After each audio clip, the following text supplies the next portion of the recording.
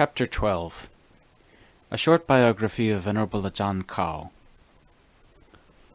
While writing about stubborn determination and anger at some length, we thought how it would be good to relate the story of one Dhutanga Kammatthana Bhikkhu, who was a follower of Venerable Ajahn Mun in the middle period of his teaching.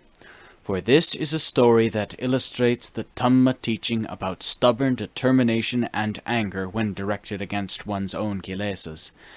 This bhikkhu was Venerable Ajahn Khao, and he was strongly imbued with both of these factors in his practice of Dhamma, and had them up to the end of his life.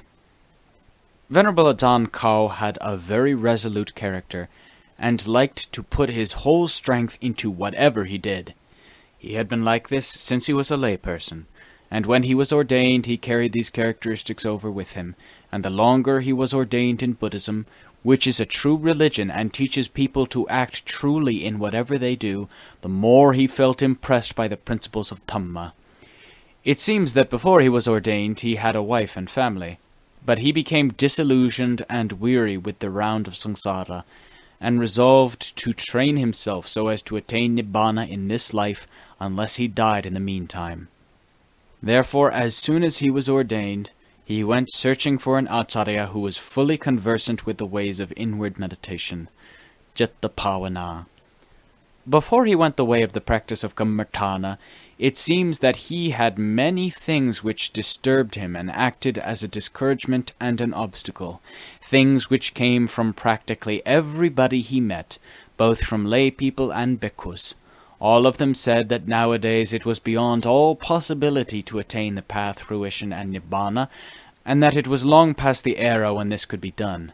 That, however rightly and properly one were to practice the way of the Dhamma and the Vinaya, one would not be able to attain the result of reaching the goal as one hoped to. That the practice of meditation makes people mad, and whoever wants to go mad should go out and practice it. That if one wants to be a good person like we villagers, one should not drive oneself mad by going the way of Kammatthana that in this age there are no Dhutanga Kammatthana bhikkhus, apart from those who sell magic yantras, mantras, methods of magic, lockets which have magic properties, magic potions for influencing others, ways of making people impervious to bullets and knives, knowledge of auspicious times, and astrology. But that as far as finding Dhutanga Kammatthana bhikkhus who actually practiced the way of Dhutanga, there were none left nowadays, that he must therefore not waste his time and tire himself to no purpose, for to get to a state of ease and happiness in that way was impossible. These were some of the many obstacles which blocked the path of those who wanted to practice the way of the Dhutangas in those days. But Venerable Ajahn Khao was not prepared to listen to any of them, although he did not object or argue with them, for it would not have been useful to either side. But deep within himself he considered that these people and these acharyas are not the owners of the Buddhist religion. They are not the owners of the path, fruition, and nibbana, nor have they any power to make anyone go mad such that I could believe what they say. I have faith only in the Lord Buddha, in the Dhamma, and in the Sangha of Savaka Arhants as being truly worthy within the triple world. Those who spoke, trying to persuade me and to stop me, so that I would not go the way of Kammatthana and practice its various methods, are not amongst those who are truly worthy at all. Just by looking at their behavior and manners which they display, one can know whether they are truly wise or fools, and generally what their characteristics are like. Therefore, their objections and their wanting to stop me are things which would be a waste of time for me even to consider. So now I must go away to practice the way of Kammatthana as soon as I can without considering anything else, and I must search for true things which accord with the basic principles of Dhamma which have been handed down to us. This I must do until I reach the absolute limit of my strength and ability. And if this Kammatthana bhikkhu, which in this case is myself, should chance to die, then I willingly give my life and entrust myself to the supreme Dhamma. When he was ready to set out on his Dhutanga wanderings, there were at the same time many lay people and all the other bhikkhus gathered together in the monastery. and just before he went he spoke in truth from his heart to those who had tried to stop him, so as to leave no doubt as to his intentions, saying, When I have gone from here, unless I can teach myself to attain the ultimate level of Citta and Dhamma, I shall not return to show my face amongst you again. I am ready to die for the sake of knowing and seeing into Dhamma with clarity and insight, but not for anything else. Please remember this that I have said, just in case I have the right characteristics to enable me to return and meet you again, and you will not have forgotten.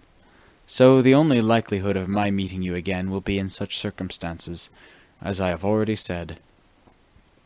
He said this at a time when there were many people, both highly respected acharyas and lay people from his village who had faith in them as being very wise and learned, all of them trying to stop him going away. He said, at that time my heart seemed so strong it could crush a diamond into powder in an instant, and it seemed as if I could leap into the sky and walk about up there for all of them to see. This was probably due to pride and high spirits in my heart, as if it was shining out brightly for all those people to see and telling them, See here the diamond radiance in this heart, can't you see it? Are you all stupid enough to disparage me, saying that I will go mad by delving into strange things? My heart is not in the same sphere as all of yours, such that you can gather it up into your clan to die worthlessly in the way a dog dies. I am not prepared to die in the way that all of you would lead me to go towards death right now, for I intend to die in the way that the Lord Buddha taught us, by not leaving any seed of becoming remaining whatsoever. I have already died in your way countless times, so that it is impossible to tell in how many cemeteries I have ended my days. But although I may not be able to know this with my own higher knowing faculty, jnana, I have faith in the Lord Buddha and his teaching, for his higher knowing faculty was supreme and unequalled. As soon as he was ready, he said farewell, and took his leave of all the acharyas and learned people, and walked away through a large crowd of lay followers. He then set out for That Phanom on foot, through forest and thick jungle, following paths worn by people and buffalo carts, for in those days there were no roads, not even the roughest dirt roads, but only a footpath, there were also many wild animals of all sorts in large numbers throughout the forest, with plenty of elephants and tigers everywhere, because there were no villages and not many people about as there are nowadays, with people and villages everywhere. The forest was also the original true forest, and there was real danger that if one lost one's way, one would have no food and may die in the forest, for often one could walk all day without meeting anyone or seeing any sign of habitation. Venerable Ajahn Khao walked through the forests and jungles until he reached That Phanom, and from there he walked on to Udon Thani, and thence up to Nong Khai, searching for Venerable Ajahn Mun, whom he learnt was spending the Vassa, the rains period, in the district of Tha Bo. I was only able to spend a short time training with him, before he went away from us to Chiang Mai and disappeared into silence, he said. Then I felt a sense of hopelessness for a while, because I had no teacher to teach and lead me. But when I heard that Venerable Ajahn Mun had gone to stay and practice the way in the Chiang Mai district, I set out to follow him by wandering in the Dhutanga kammatthana way, going along the bank of the Mekong River until I reached the province of Chiang Mai. Then I wandered about in the various districts of Chiang Mai with peace and happiness. The places where Venerable Ajahn Khao stayed and practiced were deep in the forests and hills and far away from any villages. At the same time, Venerable Ajahn Mun was also wandering about in that area, but it was not easy to find him, because he always liked to take off on his own away from his colleagues, and he would not readily let anyone meet him. However, Ajahn Khao went on following him relentlessly, until finally he managed to meet him and to receive genuine instruction and training. But Venerable Ajahn Mun would not let anybody stay with him, for he liked to live alone. Venerable Ajahn Khao said that he always tried to stay close by Venerable Ajahn Mun, so that he could go and see him and learn from him when it was necessary. Whenever he went to him to discuss and learn about any aspect of Dhamma, Venerable Ajahn Mun had metta for him, and taught him to the utmost of his ability, without holding back or hiding anything. But he would never let anybody stay with him. However, Ajahn Khao said that he was quite content that Venerable Ajahn had metta for him, and taught him at those times when it was necessary for him to go and ask questions of him. Then, once he had cleared up his problems, he paid his respects and left to go and practice what he had learnt on his own. He was thus going back and forth quite often. When he had stayed there for a long time, for some years, Venerable Ajahn Mun very kindly let him stay for the Vassa period with him. Ajahn Khao was so glad and so happy when Venerable Ajahn Mun told him that he felt as if he could float in the air for after trying for so many years he had at last succeeded. From then on, he stayed regularly with Venerable Ajahn during the Vassa. The practice and development of his Chitta Bhavana, his meditation, seems to have gained strength steadily after he went to stay in the Chiang Mai district, and with a skilled teacher to guide and teach him continually, his heart seemed as if it was about to leap up into the sky, so strong was his happiness and contentment in the Dhamma that arose in his heart. No longer was there any unhappiness, lack of good cheer, or sadness due to instability of heart, sometimes up and sometimes down, as happened when he was staying in other places. From day to day his heart steadily progressed both in samadhi and in wisdom, and he became engrossed in striving day and night without ever becoming satiated.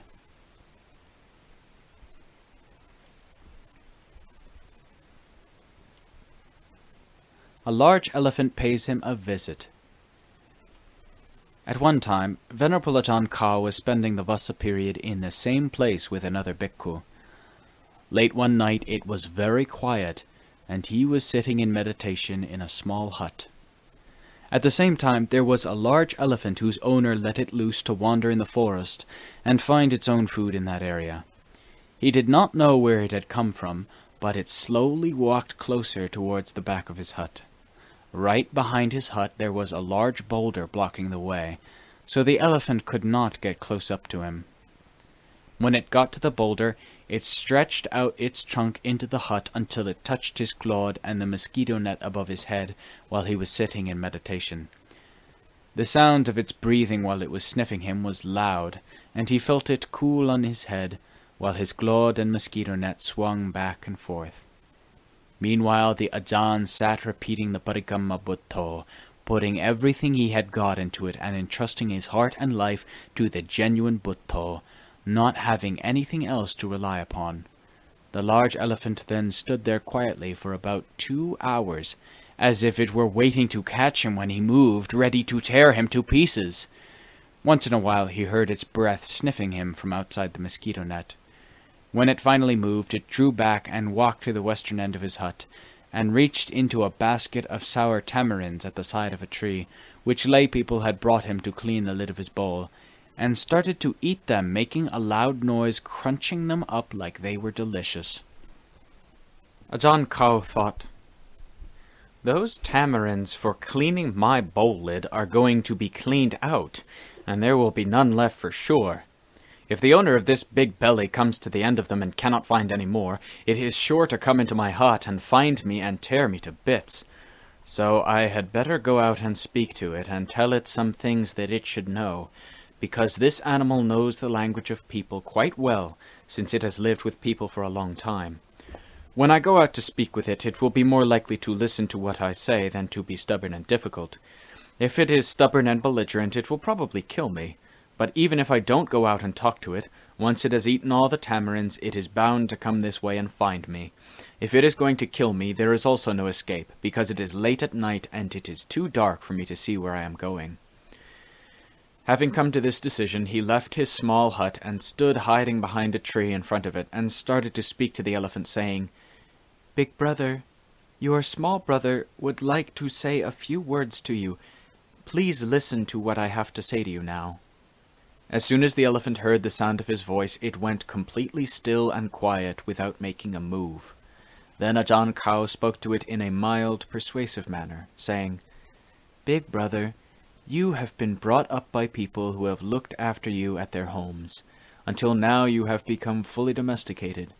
You are thus fully aware of the ways of people, including their language which they talk to each other, and which they have used to teach you for many years. You know all these things very well, in fact even better than some people know them. Therefore you, big brother, should know the customs and laws of people, and you should not just do anything that you feel like doing as it suits your fancy, because in doing some things, even though they suit your own inclinations, if they are also contrary to the ways of people and you upset people, they may harm you, or depending on what you do, they may even kill you. For people are far more intelligent than all other animals in the world, and all of them fear people more than any other animal. You, big brother, are also in subjection to people, so you should pay respect to people who are more clever than yourself. If you are even a little bit stubborn or difficult, they beat you on the head with a hook, which is painful, and if you are very bad, they will probably kill you. Please don't forget what your little brother has taught you with sympathy for you. And now I will give you the five sila, for your little brother is a bhikkhu. You should keep them well. Then when you die you will go to a state of happiness, and at least you should be born as a human being with merit and the virtue of Dhamma in your heart. But if you are born higher than that, you may go to the heaven realms or Brahmaloka, or higher still, all of which are far superior to being born as an animal like an elephant or a horse, which people use to draw carts or to drag logs about while being beaten with whips, all of which is nothing but torment and trouble throughout one's life, until one dies without having any chance to get free from this burden, which is such as you have to put up with at present. Big brother, Please listen carefully and make a true resolve to accept the moral precepts. They are firstly, Panatipata. You must not kill people or animals deliberately by using your strength and ability to do so, and also you must not maltreat or oppress others, whether people or animals, for to do these things is evil. Secondly, Adinadana.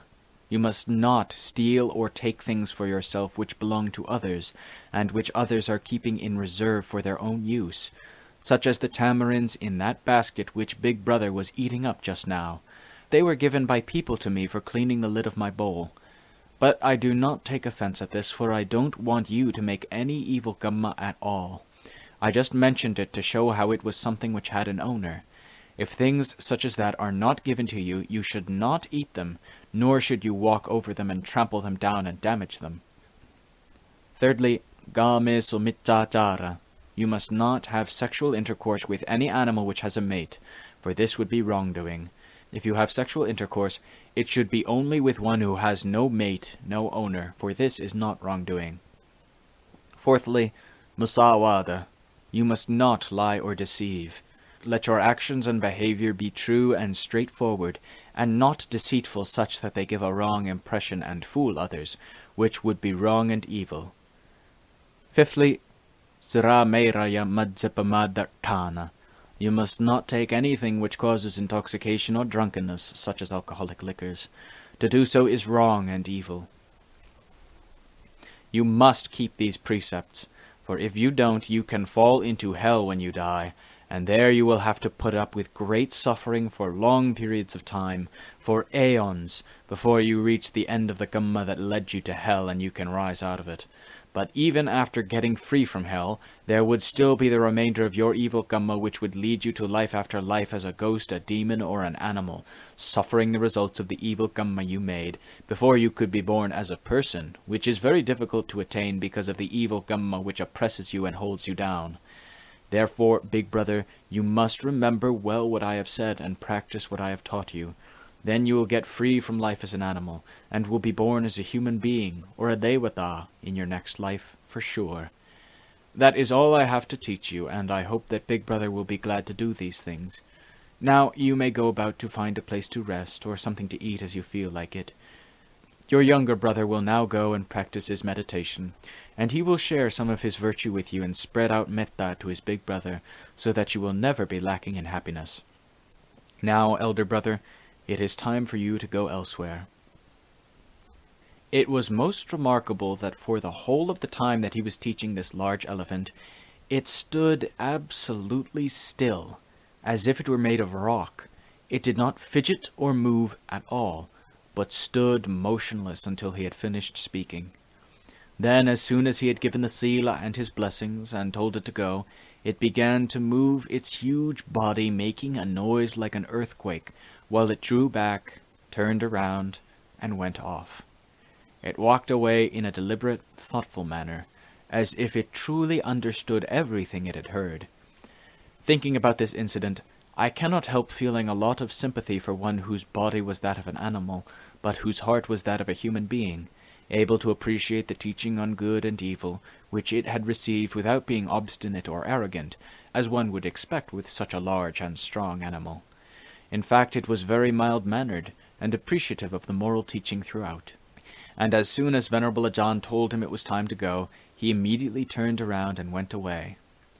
While listening to his teaching, it also listened attentively until it almost stopped breathing, just like those who listen to a Dhamma talk given to bhikkhus with full respect for Dhamma.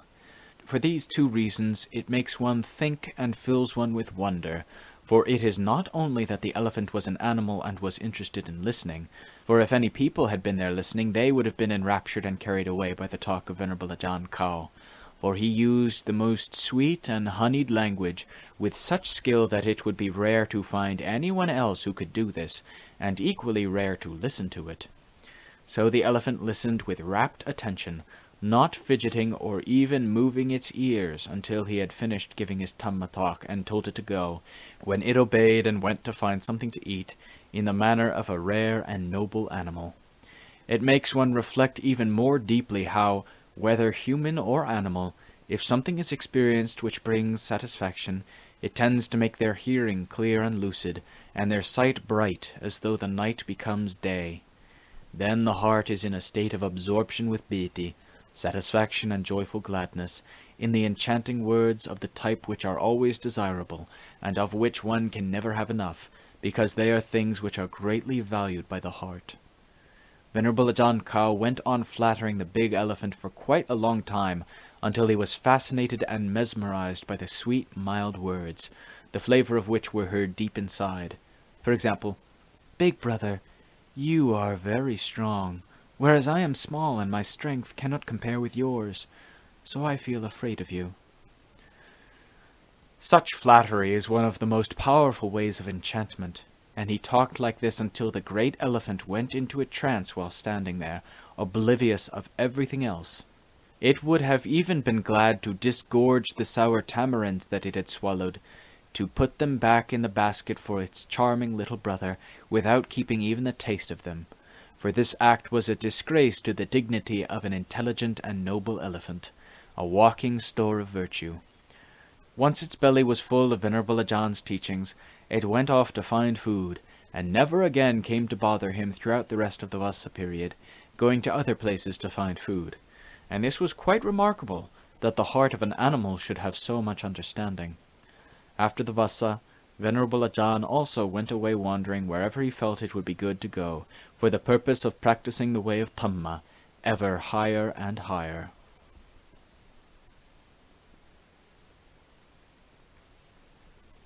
His way of practice. Venerable Ajahn Khao was an earnest Kammatthana bhikkhu who was characteristically resolute and courageous, and whatever he did, he did truly. When he was staying in the hills, he got the lay supporters to make up three places for walking Cankama. The first one he used for giving homage, puja, to the Lord Buddha, the second to the Dhamma, and the third to the Sadhaka Sangha of the Lord. He would walk Jangama on these three paths at different times of the day, according to a fixed schedule which he kept to quite strictly. As soon as he had finished his meal in the morning, he would go and walk Jangama on the first path, paying homage to the Buddha, and he would continue until about midday.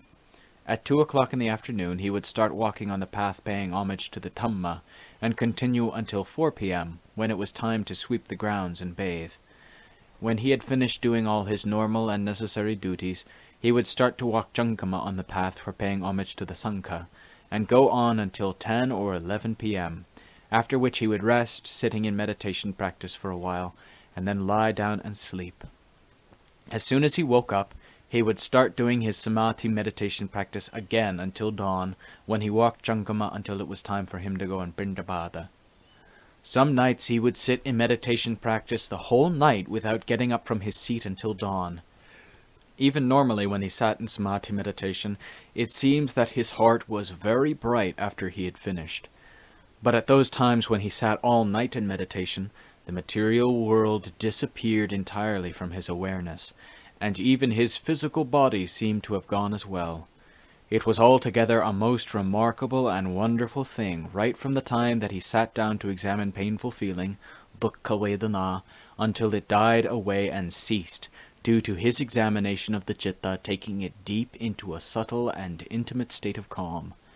At this point, the only thing that was apparent to him was knowing, just this alone, which brought to him a most subtle and gentle calm and happiness, which was quite indescribable. There were no supporting conditions, aramana, present in the citta, however subtle. This means the same thing as saying that the elements of existence, the lokadhatu, disappeared simultaneously with the disappearance of the supporting conditions. This state remained until the citta drew up and out of it, after which the supporting conditions which were the usual companions of the chitta returned gradually, bit by bit. Afterwards, he would continue working at his practice in the normal way. When the chitta has integrated and gone down into a state of calm, even though it remains in this state for several hours, there is no feeling of it being a long time, such as it would normally appear to be. This must surely be the state of ekacitta ekadhamma, just within the heart itself alone, without there being anything else to form a duality.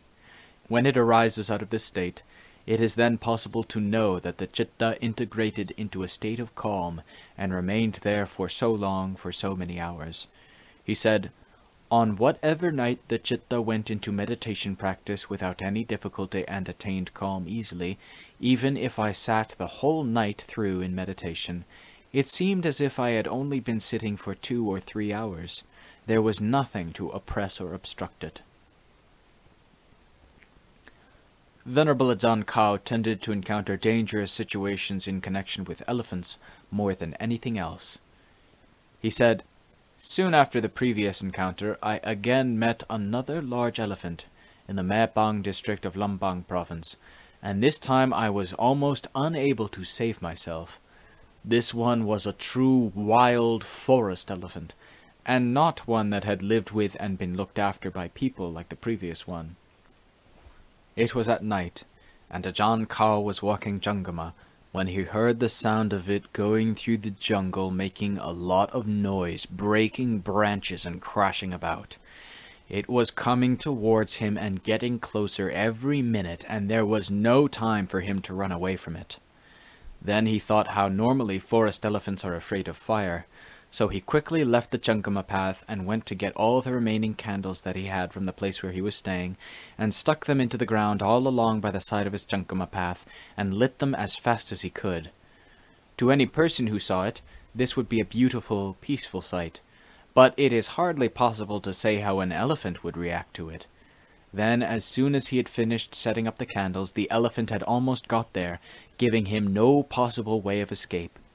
All he could do was to set up a true resolve, satya adhitthana, that the supernatural power of the Lord Buddha, the Dhamma, and the Sangha may come and help him and protect him, a servant of the Lord Buddha, against this huge elephant.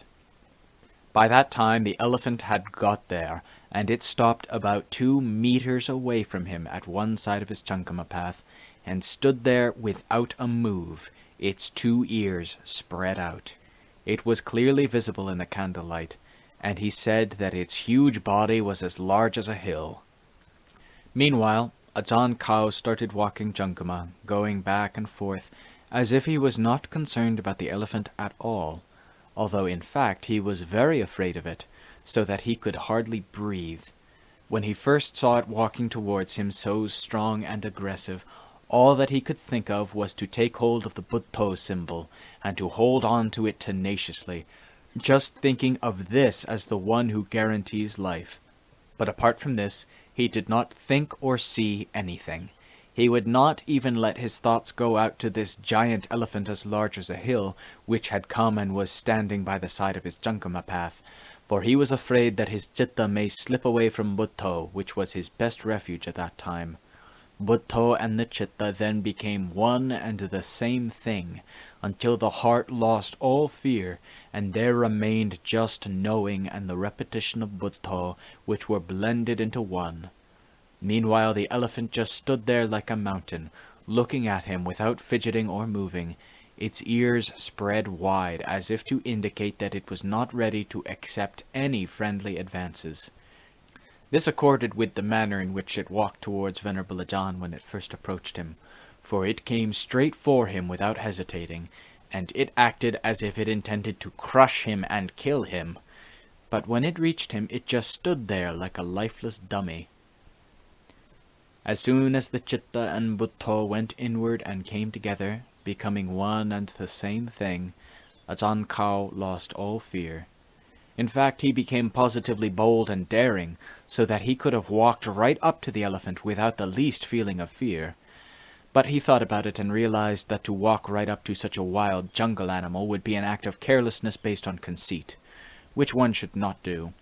So he kept on walking Chankama fearlessly with bold courage, in competition with the standing elephant, as if there was nothing that could happen that would be any danger to him.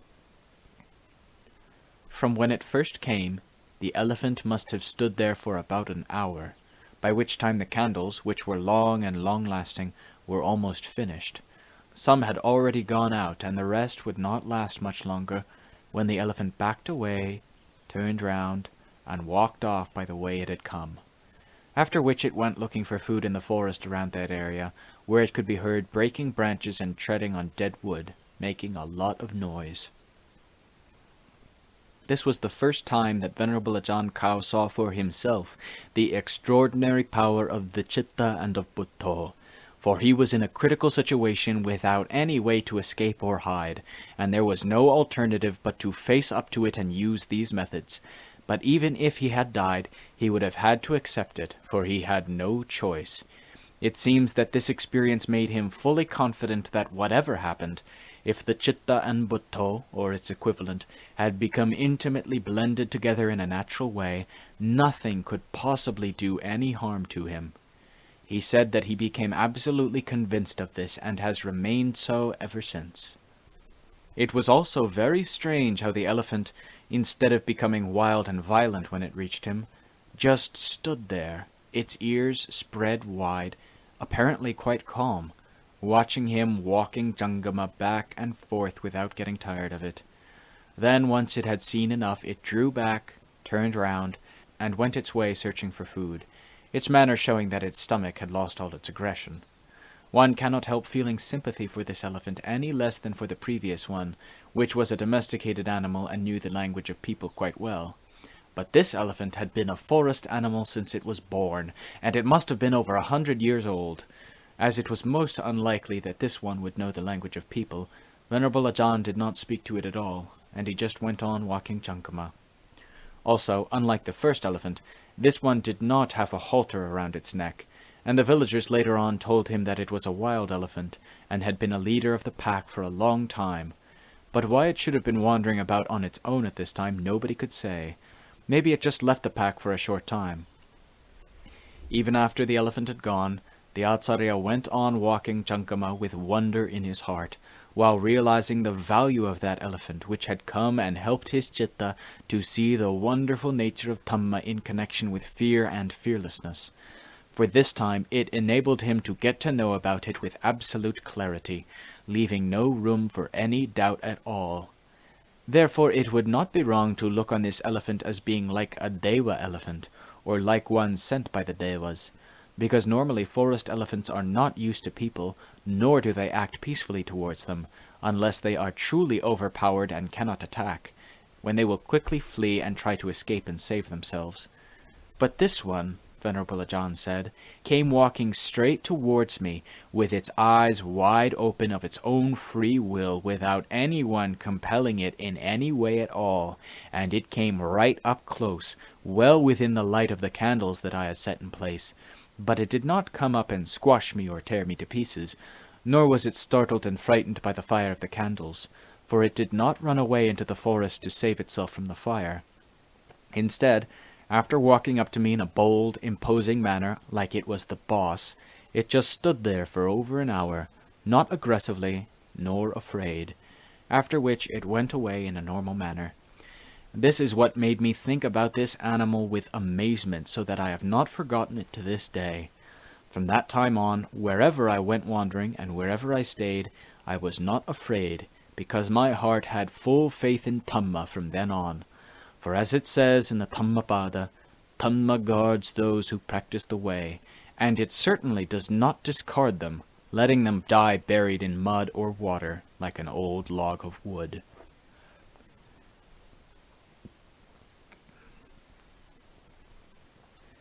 Fighting the Kilesas. Knowledge of the chitta and of Dhamma which reaches the heart is most likely to be found at those times when one is in a critical situation. If the situation is not really critical, the chitta tends to play act as if it is so, causing one to become excited and agitated by endless kinds of kilesas which one could hardly keep up with and cure. In fact, one is likely to let them inundate oneself while seeing them in full view right there, as if one was quite unable to restrain them or to follow and cure them so that they may fall away and disappear. But when the situation is truly critical, and one is genuinely driven into a corner, the chitta and dhamma become strong, though where the strength comes from is hard to say. The heart then bows down and submits, accepting oneself and Dhamma with faith and without any resistance. Then if one decides to make it act in any way, or to take hold of any aspect of Dhamma, it accepts and does just that without any opposition. This is probably due to the fear of death, which could in fact take place if it was uncooperative. So the chitta becomes compliant and easy to teach, without being stubborn at such a time. This is probably the reason why Dhutanga Kammatthana bhikkhus like going into the forests and hills, even though they are afraid of death, and one part of the heart does not want to go in such places. My chitta was like this, but how it is with other people's chittas I cannot say. Although if they are determined and fully committed to training themselves so as to get to the causes and reach the results of this way in truth, it should be much the same for them as well because the chitta is the dwelling place of both Dhamma and the kilesas, which make all people feel full of courage or fear, and good or evil respectively, in the same way. Training in accordance with causes, the results of which are the purpose and aim of Dhamma, is therefore able to make all the various kinds of kilesas surrender and vanish, until they have all gone without leaving any trace or seed that could grow again. For myself, I have rather coarse and rough characteristics, so I tend to have confidence in strict discipline and rough methods to enable me to counteract the kilesas, which are those gross forms of nature which I have within me. Like that time when the large elephant came walking up to me while I was walking Chankama. That was a time when I clearly saw the kilesas as well as the Dhamma of the Lord Buddha within my heart. Normally, the chitta which has kilesas that dominate and are in charge of the heart is very difficult to discipline and train. Sometimes those who set out to kill and destroy them end up dying before they succeed in doing so, because of the mean tenacity at the core of the asavas, which have been squatting there within us and feeding on us for long ages. But as soon as I got to the point where there was no escape when the great elephant came to help me, the most stubborn Kilesas which had been so clever in resisting my efforts all went into hiding, though where they went I don't know. Then it became easy to instruct the heart so that when I ordered it to be like this or that, and when I wanted it to remain fixed to an aspect of Dhamma, it immediately agreed and did so. It was as if oil had been put in the machinery so that there was virtually no friction as there had been before. As soon as the kilesas went away from the heart, the Dhamma which had already been developed and was just waiting there arose at the same moment and shone forth brightly. And also courage and fearlessness towards everything immediately arose within the heart. All this that I had longed for, for so long, was there for me to see and admire to my heart's content. Meanwhile, the fear of death had gone. Where to, I don't know, but it enabled me to see quite clearly that fear is a type of kilesa which has always appeared quite openly. As soon as the fear which had been oppressing and deceiving my heart disappeared, or even though it may not have entirely disappeared, it made me see quite clearly at that moment how baneful a thing it is. After this, whenever fear should arise, as it may at times, I knew that what I had experienced and seen was enough to act as a reminder for me to know that this fear is not my friend and benefactor, but an enemy who has come in the guise of a friend. So it could no longer make my heart have confidence in it as it used to, and I should endeavor to drive it out every time it arises throughout my life of striving for Dhamma, until the essential nature of this enemy which comes as though it were a friend, is at an end and has entirely disappeared from my heart. Only then can I relax, and be happy and free from all kinds of concerns and anxieties.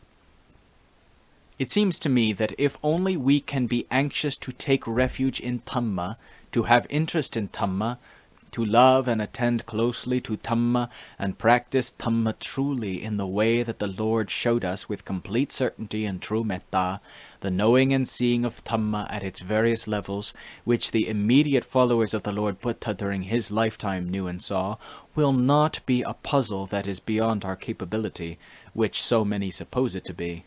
We will then certainly be able to experience Dhamma as a matter of course, in the same way as they knew and saw it at the time of the Lord Buddha.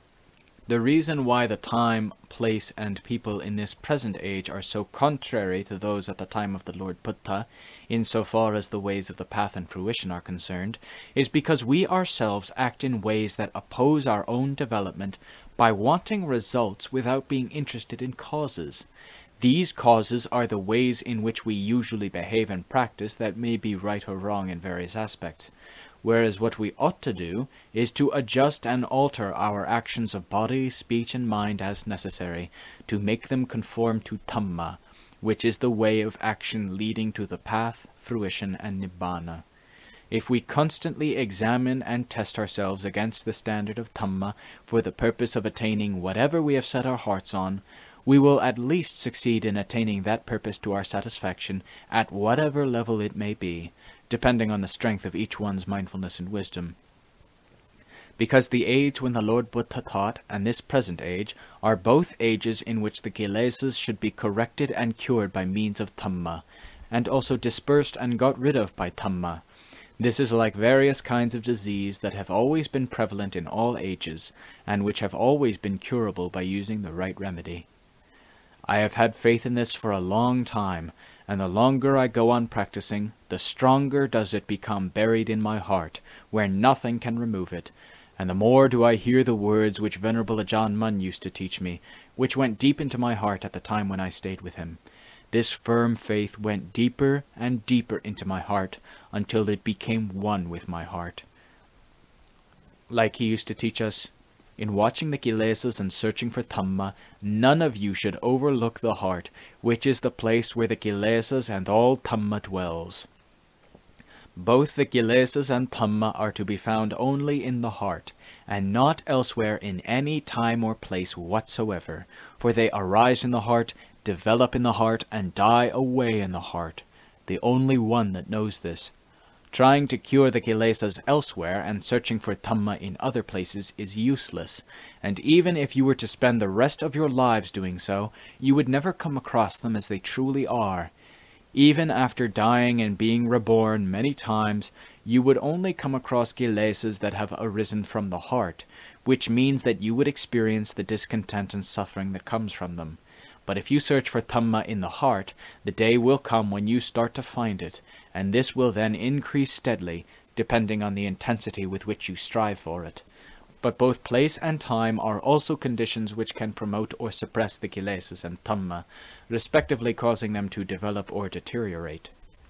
Thus, for instance, forms and sounds are conditions which promote the kilesas which are already in the heart, causing them to develop and increase. On the other hand, going to practice the way in the hills and forests is for the purpose of promoting the Dhamma which dwells in the heart, causing it to increase greatly. The real kilesas and Dhamma are within the heart, whereas the conditions which increase or suppress them are to be found everywhere, both internally and externally. This is why the Acharyas teach their followers to avoid and to get away from things which are enticing and disturbing to the heart, things that tend to make those kilesas which are already within them become demanding and audacious, such as many things which are experienced through the senses. In addition, they also teach their followers to go wandering and staying in peaceful places where there is solitude, so that they can much more easily disperse their various kilesas by means of their efforts to practice the way, thus diminishing the round of birth and death, the vatta, within their hearts by using these methods.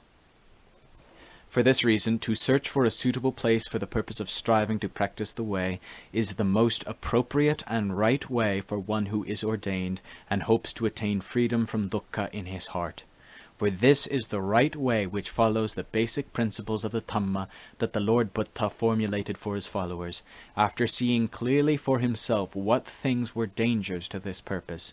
Because staying at times in ordinary places, and at other times in unusual and lonely places, the attitude or feeling about the place which is in one's heart always changes with the place and is quite inconstant. But when one stays long enough in a place, the citta becomes over familiar with that place. Those who are reflective and watchful of themselves will know immediately once this happens, and will quickly change and move to another place, so as to find the right conditions to prevent themselves relaxing to the point of carelessness. For this would give an opportunity for the kilesas to muster their strength so as to bring about one's ruin without one's being aware of what is happening.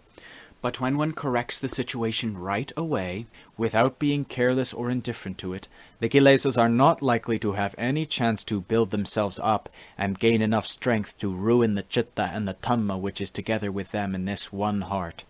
And one is then able to go on without deteriorating. Those who train themselves to see what is dangerous must be able to have mindfulness, sati, continually present to reflect and know, as an adjunct of the heart, without slipping away into forgetful indulgence, and to be able to do this is indeed good. Not slipping away into forgetful indulgence is a barrier against many kinds of kilesas which have not yet arisen, and it gives them no opportunity to arise. As for those that are still there, which have not yet been entirely cured, it prevents them from becoming more arrogant, and it also makes one try to get rid of them with unrelenting mindfulness, wisdom, faith, and effort. Any place where the chitta is afraid, and where it has mindfulness to watch and guard oneself well, is a charnel ground for the cremation of all the kilesas by means of the ascetic Dhamma, the tapa dhamma, the bright fire that burns up the kilesas, which is the making of effort that has mindfulness and wisdom as the means of burning them up to destruction, whether by the jhanas, by samadhi, by panya, wisdom, by vimutti, liberation, by the kilesas losing their power, by the kilesas dying away steadily without having regard to place or time, or by the kilesas dying away entirely and completely from one's heart. It will happen, and it will be absolutely clear to one's heart in that place where one practices in the right way, and where it is well suited to one who strives with zeal in everything in all ways. There is nowhere else where all the kilesas arise and cease, and one must keep it in mind and take it to heart that the place where Dhamma thrives is where the kilesas will deteriorate and die away entirely. What we call that place, those who practice the way should always know, is in the heart alone and nowhere else. Therefore we should struggle to cut the kilesas to pieces and destroy them without fear or favor on the battlefield, which is the heart, while depending on a suitable environment as a supporting condition to enable us to be victorious, to gain salvation, and to reach the highest point of human attainment by the persistence of our own zeal and striving. We must not go astray and be uncertain of the way, thinking that the kilesas and the great mass of our own dukkha are to be found anywhere else but within the sphere of the heart alone.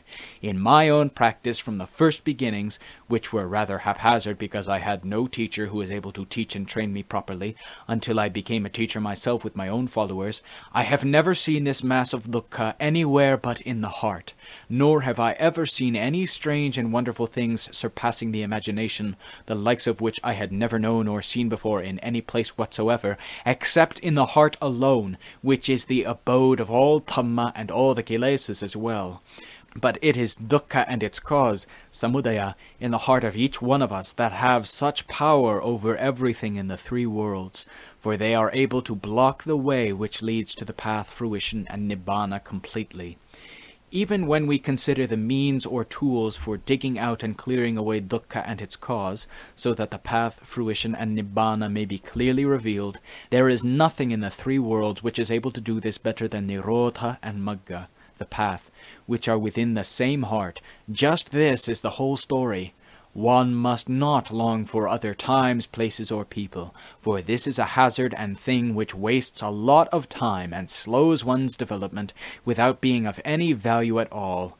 Thinking like this, rather than thinking about the kilesas and dhamma which are within one's heart, contradicts the purpose and aim of the great teacher, the Lord Buddha, who bestowed his dhamma teaching on the world, a teaching which is correct and suitable in all respects at all times.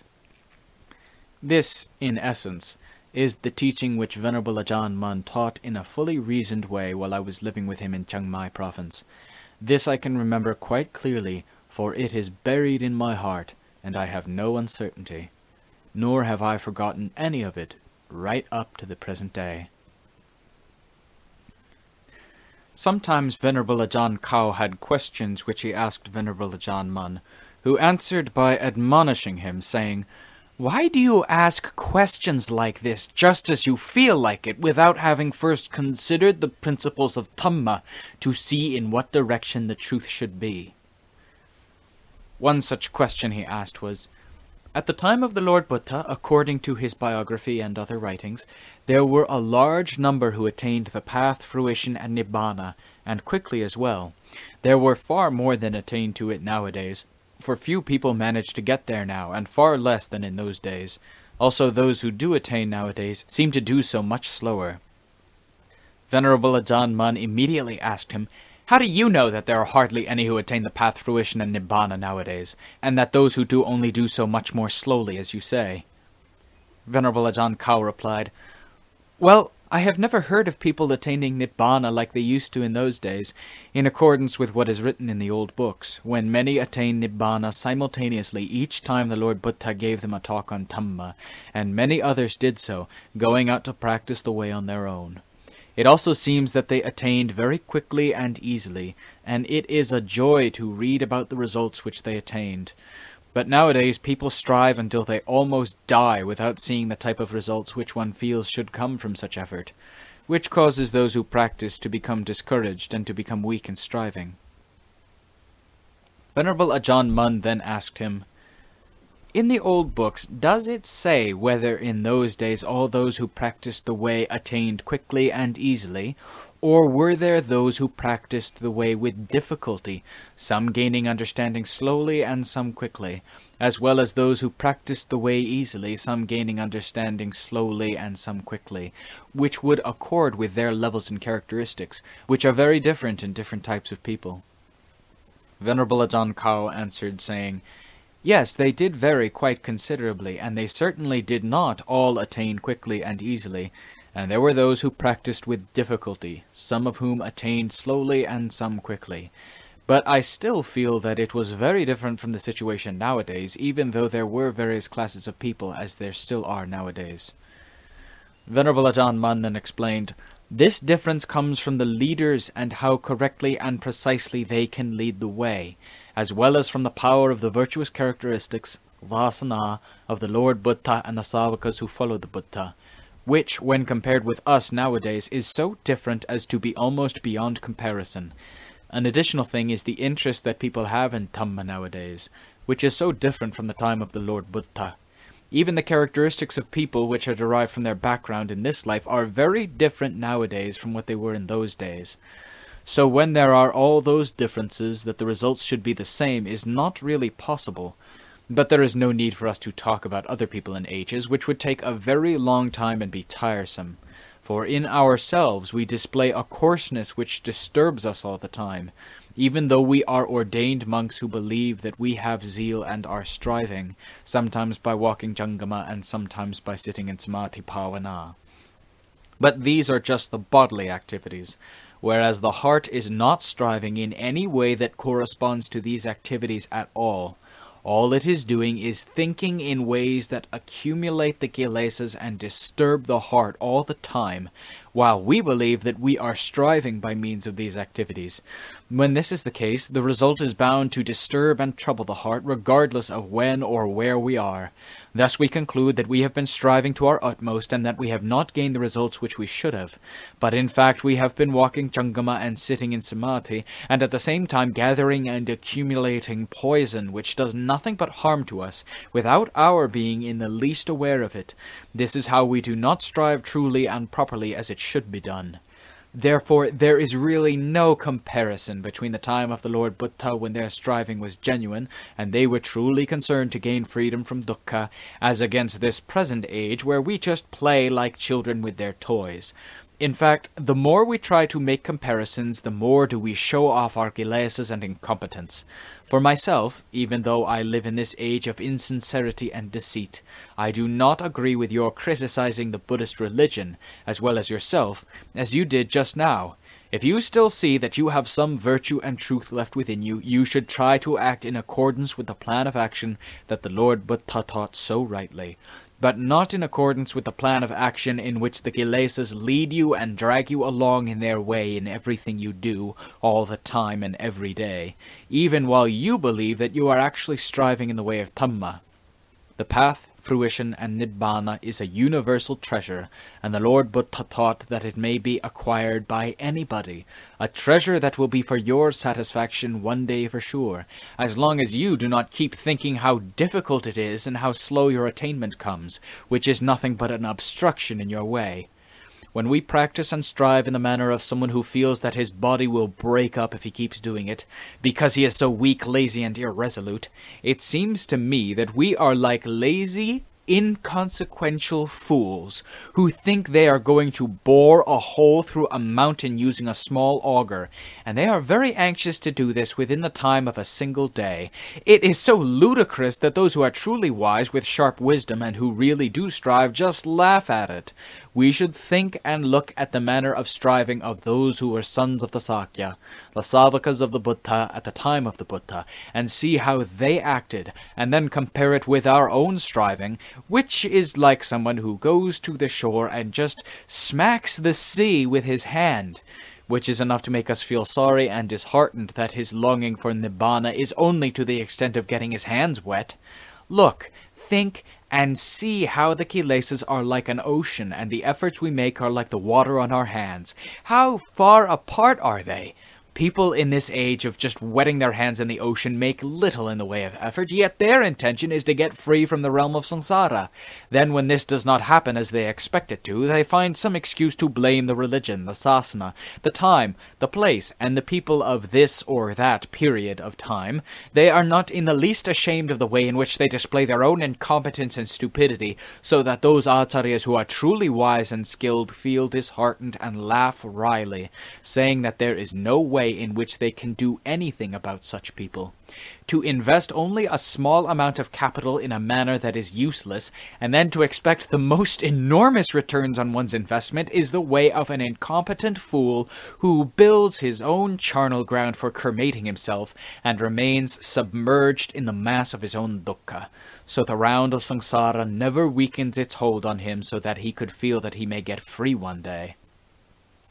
The question that you asked me was in effect praising the teaching of Buddhism, Sasana Dhamma, and praising the age, the place, and the people at the time of the Lord Buddha while at the same time criticizing the teaching, the age, the place, and people nowadays, were the words of praise and blame of an incompetent fool who puts obstructions in his own path until he cannot find a way to crawl out to safety.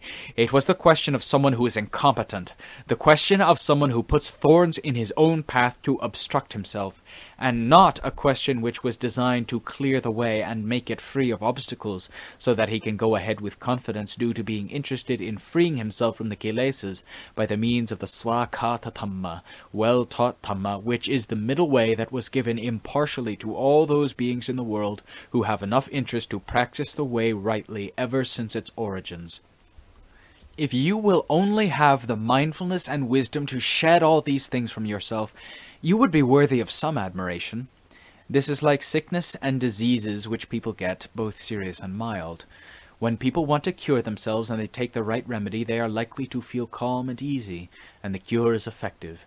But if they are not interested in looking after themselves and overcoming the disease, it will probably get worse and can become dangerous except for minor complaints such as the common cold or minor skin troubles which cure themselves without special attention. The kilesa diseases, which are not in the class of self-healing minor ailments, must be treated with medicine, and the medicine is the Dhamma way of striving following the pattern which the sons of the Sakya, the Buddhasavakas, practiced. One may be fully confident that this remedy will quell and get rid of all the kilesas, whether strong or mild or however else they may be. If you were only to think in this kind of way, I should feel more at ease about you, and I could admire you for being someone who has clever ways of thinking, and one who can have some confidence in his own ability to be able to pass beyond the realm of samsara, as well as having faith in the ability of the Lord Buddha and his religious teaching, sasana dhamma, and faith that he penetrated Dhamma with his intuitive ability, and spread it abroad as the Sasana Dhamma in the proper manner, and that this was a Dhamma of salvation, Niyanika Dhamma, truly able to lead beings to freedom, not blaming and criticizing himself, saying that his kilesas are very thick, so that he can only learn Dhamma slowly, while at the same time having no interest in curing them not blaming the Lord Buddha, saying that he did not formulate and teach Dhamma in a way that was equally suitable for his own time and for all other ages as well, nor blaming the Dhamma, saying that it is incapable or not penetrating enough to cure the kilesas of beings in this modern age in the way it did at the time of the Lord Buddha. Venerable Ajahn Mun continued, saying, I am not denying the fact that the strength of people's kilesas are different from what they used to be, and I agree that people at the time of the Lord Buddha had them far less than people do nowadays. The mode of teaching was also very different from what it is nowadays, as also were those who taught the way, and they were seers in most cases, with great understanding and true seeing. For the great teacher was the leader of the Savakas in formulating and teaching Dhamma to his followers and others. The teaching was therefore never wrong and never deviated from the truth for it came straight from the heart of the Lord, and from the hearts of his followers, which were completely purified. From this purity of heart they drew out Dhamma, and taught others in language that was fresh and direct, without there being anything hidden or mixed in with it that was wrong or distorted. Those who listened to this Dhamma were intent on the truth, and they had fully committed themselves to it. So the situation was entirely suitable on both sides, and the results came stage by stage, being self-evident to them, and fulfilling the expectations of these people who were looking for truth. Therefore they had no problems and questions which could interfere with their development. So it was that in those days many people attained Maggaphala each time the great teacher or his Savaka followers gave Dhamma teaching, whereas nowadays hardly anybody can attain. It is as though saying that people are no longer people, and Dhamma is no longer Dhamma, so there are no results coming from it. But in fact, people are people, and Dhamma is Dhamma, as they always were. But people are not interested in Dhamma now, so the Dhamma that enters into them does not reach the heart. The result is that people remain just people, and Dhamma remains just Dhamma, which is not likely to be of much use in bringing about the final attainment. Even if a large number of people were taught and listened to an exposition of the whole Tipitaka, it would be just like pouring water over the back of a dog. It immediately shakes it all off until there is none left. In this way the Dhamma has no meaning in the hearts of people, much as water is of no consequence on the back of a dog. Venerable Ajahn Mun then asked Venerable Ajahn Khao, When you asked that question just now, was your heart like a dog's back? Or what was it like that you blindly put blame just on the Dhamma alone, saying that it had not brought results to yourself for attaining the path, fruition, and nibbana the easy way, like it did in the time of the Lord Buddha, without thinking about your own heart, which was shaking off the Dhamma from itself faster than a dog could shake water off its back? If you will only reflect back and think about your own faults and failings, I think that some Dhamma will find a place to seep into your heart and remain there, not merely flowing through it like water flowing down a channel without any reservoir or storage place, which is how you are at present. Whether the people at the time of the Lord Buddha had few or many kilesas was just a matter of their own virtue or evil, which does not affect us or make any difficulties for us nowadays. People nowadays have their own kilesas of various kinds which cause trouble for themselves, until there is hardly anywhere in the world where they can live normally. If people have not enough interest in curing themselves, so that the world has some freedom from this trouble and freedom from the fire with which they burn each other, merely blaming and praising others, in whatever age they lived is not likely to be of any use at all. This is also true if each one of them is not interested in directing his blame and praise towards himself, towards this one who is creating the fire to burn himself and others, causing all sorts of trouble now, in the present. For turning one's praise and blame towards oneself is the way to break the fires of lust, raga, hate, and delusion apart from each other, whenever they are in consort together, at least to the extent of having a way to go towards some degree of calm and happiness, so that one is not roasted by these fires beyond one's endurance. This is the way it should be in the world of human beings who are far more clever than any other species in the world. Venerable Ajahn Khao said, Venerable Ajahn Mun used to scold and blame me very fiercely for asking such questions which had no practical solution, although I did not ask such questions very often. But when Venerable Ajahn took up these questions and analyzed them, it was as if they were like thorns and splinters obstructing the sasana, himself, and myself as well, for which there is no available cure. It made me feel and see where I was at fault, and I would feel uneasy about it for many days, even though in fact I had no doubt that people nowadays could practice Dhamma. But Venerable Ajahn would still scold me and shred me with his fierce way of talking, which I reckon was right and suitable for someone like myself, who was always talking and could not be quiet and contented. On the other hand, this was also good, in that I used to hear Dhamma from him of a kind which went straight to my heart, in fact, what I have already told you is no more than a fraction of the deep, spirited, and fiery Dhamma which he delivered, for it was deeper than the ocean and more fiery than the fire of hell. He would also bring up the questions which I had asked him in the past, to stir me up time after time. Sometimes he would do this right in the middle of a meeting, when all the others were gathered there to hear Dhamma, and he would reveal my evil ways, talking about my wrong views, micchaditthi, and likening me to Devadatta destroying the sasana. He would tear me into pieces until there was nothing left that was good, and he would go on like this for a long time, not letting up easily, until some of the other bhikkhus began to wonder about it. Afterwards they would come and ask me whether it was truly as Venerable Ajahn said. I had to explain how the questions I asked were not a true indication of my attitude, but that it was just a method of getting him to talk Dhamma. For normally, if nobody asks him some outlandish question, he does not speak Dhamma to us. But I suppose I was rather stupid in the questions that I used, for I jumped in with both feet and gave him the hammer to hit me over the head with. Maybe I should have asked a more normal and less inflammatory question, so that I could listen to Dhamma that was more sweet and soothing. Generally speaking, it was in fact as Venerable Ajahn Khao said. For if Venerable Ajahn Mun was asked questions that were not in any way strange or outlandish, he would just answer in a normal way. Then, even though it was Dhamma, his way of speaking was smooth and normal, and it made no lasting impression on one's heart. But when he was asked a strange, outlandish question, he became quite animated, and the import of the Dhamma which he brought forth was truly satisfying, as we have already described in Venerable Ajahn Mun's biography. In truth, Venerable Ajahn Mun had no doubts about Venerable Ajahn Khao's views, although the way in which he scolded him made it appear as though he was doubtful.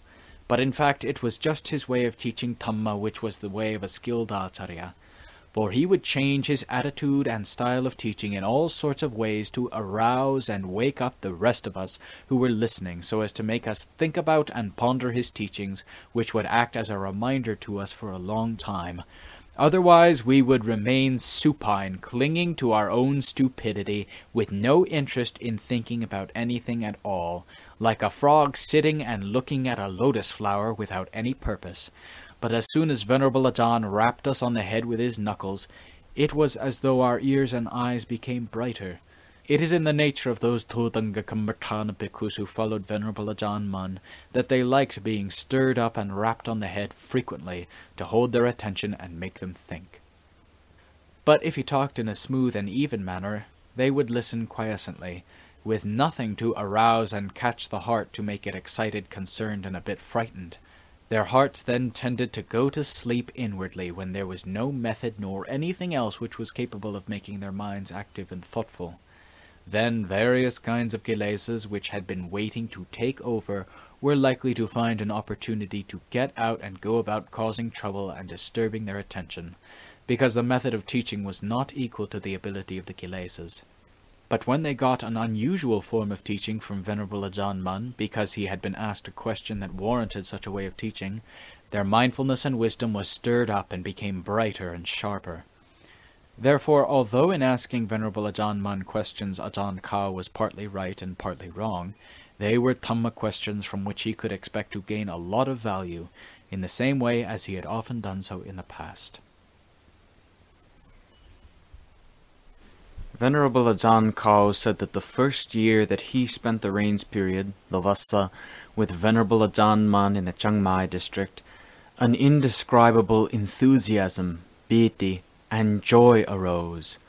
This was an appropriate reward for the several years in which he had tried to follow Venerable Ajahn, for even though he had heard his teaching at times in various places, he only stayed for brief periods, which were not truly satisfying.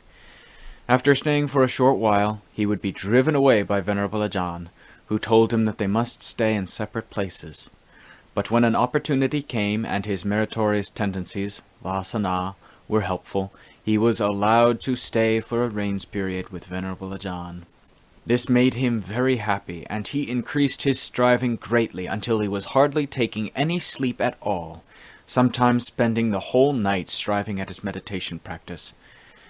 Then one day his citta became fully integrated and went down into a state of calm where it had a complete rest for some time before it withdrew and rose up out of it. He was filled with wonder at this brightness of the heart, which went beyond what he had ever reached before, and it made him completely absorbed in Dhamma until the light of dawn appeared. That night he did not sleep at all. In the morning, he got up at the usual time and went about his duties, helping to clean and arrange things at Venerable Ajahn's hut, and taking his bowl, robes, and other things to his place where he ate food in the sala. When Venerable Ajahn came from the place where he did his meditation practice, it seemed that he watched Ajahn Khao unusually closely. Ajahn Khao himself noticed this, and felt very self-conscious and afraid that he may have done something or other wrong. After a short while, Venerable Ajahn said to him, How is your meditation practice going now? Last night your citta was much brighter than it has been in the past, ever since you have been staying with me, this is how you must do it. This is the right way for one who searches for Dhamma. Now do you know where Dhamma is? Last night, where was that brightness? He answered, The brightness was in my heart, sir. But he felt afraid and ashamed until he almost started shivering, for he had never before been praised and asked a question at the same time like this. Venerable Ajahn Mun then asked him, where had the Dhamma been before this that you could not see it? That which you have seen is Dhamma, and you must always know it in this way from now on. Dhamma is in the heart, and in the future you must guard the level of your chitta and the level of your striving, so that they are kept well up, and you must not let them deteriorate. For this is the ground of the chitta, the ground of the Dhamma, the ground of your faith in Dhamma, and the ground of the path, fruition, and Nibbana. All of them are just there. You must be confident and resolute in your striving if you want to transcend dukkha and in doing this you have got to do it just there, for it is absolutely certain that there is nowhere else you can get free from it but just this one place. You must not indulge in wishful thinking, for you are no longer blind, and there is no need to do so. Last night I sent the flow of my chitta out to look at you, and I saw your chitta brightly illuminating everything round you, and every time I sent my chitta out to look, it was the same way throughout the night because I also took no sleep last night at all. Part of the time I spent in Samadhi Bhavana, part of the time receiving Deva guests, and part in sending my chitta to see how you were getting on. And it went on like this until dawn, without having any realization of the time. As soon as I came out of Bhavana, I had to ask you about it, because I have always wanted to know about my fellows in Dhamma. Was it peaceful? Was it blissful this time? Venerable Ajahn Khao said that he remained silent, not daring to answer Venerable Ajahn. For he had already looked right through me until he could see my lungs and liver and everything else. So what would be the use of telling him? From then on I was much more afraid of Venerable Ajahn, and I was much more careful where he was concerned. Even before this, I was quite sure that he could know the minds and hearts of people just as he wished but that night I experienced it for myself, which made me that much more certain, and I became very afraid of him in a way that is hard to describe. From that day on he was able to fix the state of his heart firmly and develop it steadily, more and more and bit by bit, without any deterioration or backsliding at all. He said, Venerable Ajahn Mun used to goad me quite frequently, any self-indulgence and I would be told off immediately, and he would get fierce and scold me much more quickly than before. In fact, his frequent exhortation and reminders were methods of helping me to look after my chitta and dhamma, and to make me more afraid of deteriorating and backsliding. From that time on, I continued to spend every Vassa period with Venerable Ajahn. After the Vassa, I would then go out wandering to practice the way in various places wherever I found it to be suitable for striving. Venerable Ajahn Mun would also go off, but in a different direction so as to be on his own, for he did not like going out with any of the bhikkhus attached to him. So the bhikkhus all went out in different directions, each as he felt inclined. But whenever some internal problem arose in their hearts, they would make for Venerable Ajahn to ask him about it, so that he would unravel it and clear the problem, which he did every time. In this way it seems that the striving by way of the heart of Venerable Ajahn Khao progressed steadily. His mindfulness and wisdom gradually and steadily spread and branched out until it was infused into the heart and they became one and the same thing. Whatever his bodily posture or activity, he maintained his effort with mindfulness and wisdom present in his striving for Dhamma, and it seems that his heart was bold and courageous, having lost all fear of those things which arouse and maintain thoughts and emotional states, aramana, which used to be his enemies. He was also certain of the path leading to freedom from dukkha, and he had no doubts about it, even though he had, as yet, not actually attained freedom.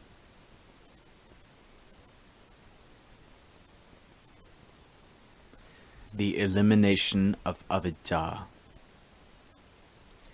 One evening, after he had swept the ground, he left the hut where he was living to go for a wash. He saw the rice growing in the fields, and how it was golden yellow and almost ripe. This immediately made him think and question. This rice has sprouted and grown because there is a seed which caused it to grow. The heart that endlessly leads one to birth and death should also have something that acts as a seed within it in the same way as the rice plants. If that seed in the heart is not destroyed entirely, it is bound to lead to further births and deaths going on endlessly. Now, what is this seed in the heart? What could it be but the kilesas, avidya, tanha, and upadana?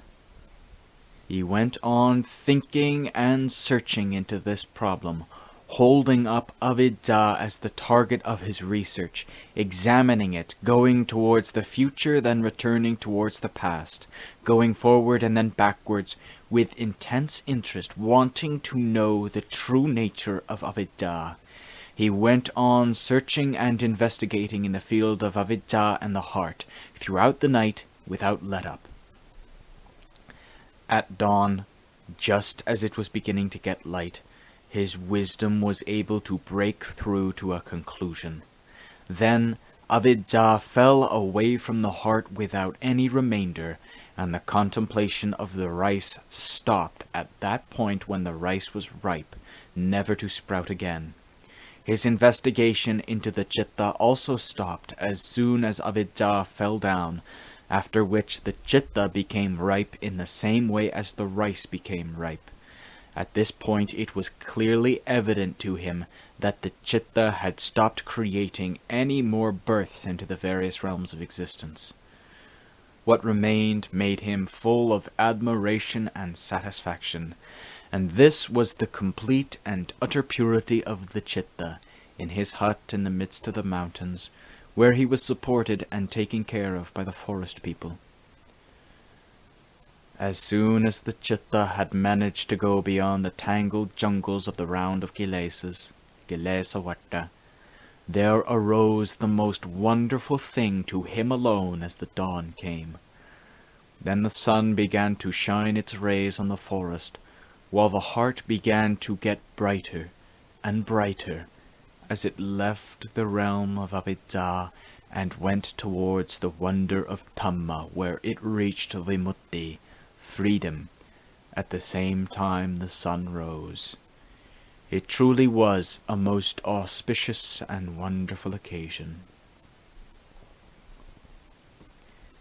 After this supreme, auspicious, and blessed moment had gone by, it was time for him to go Pindapata.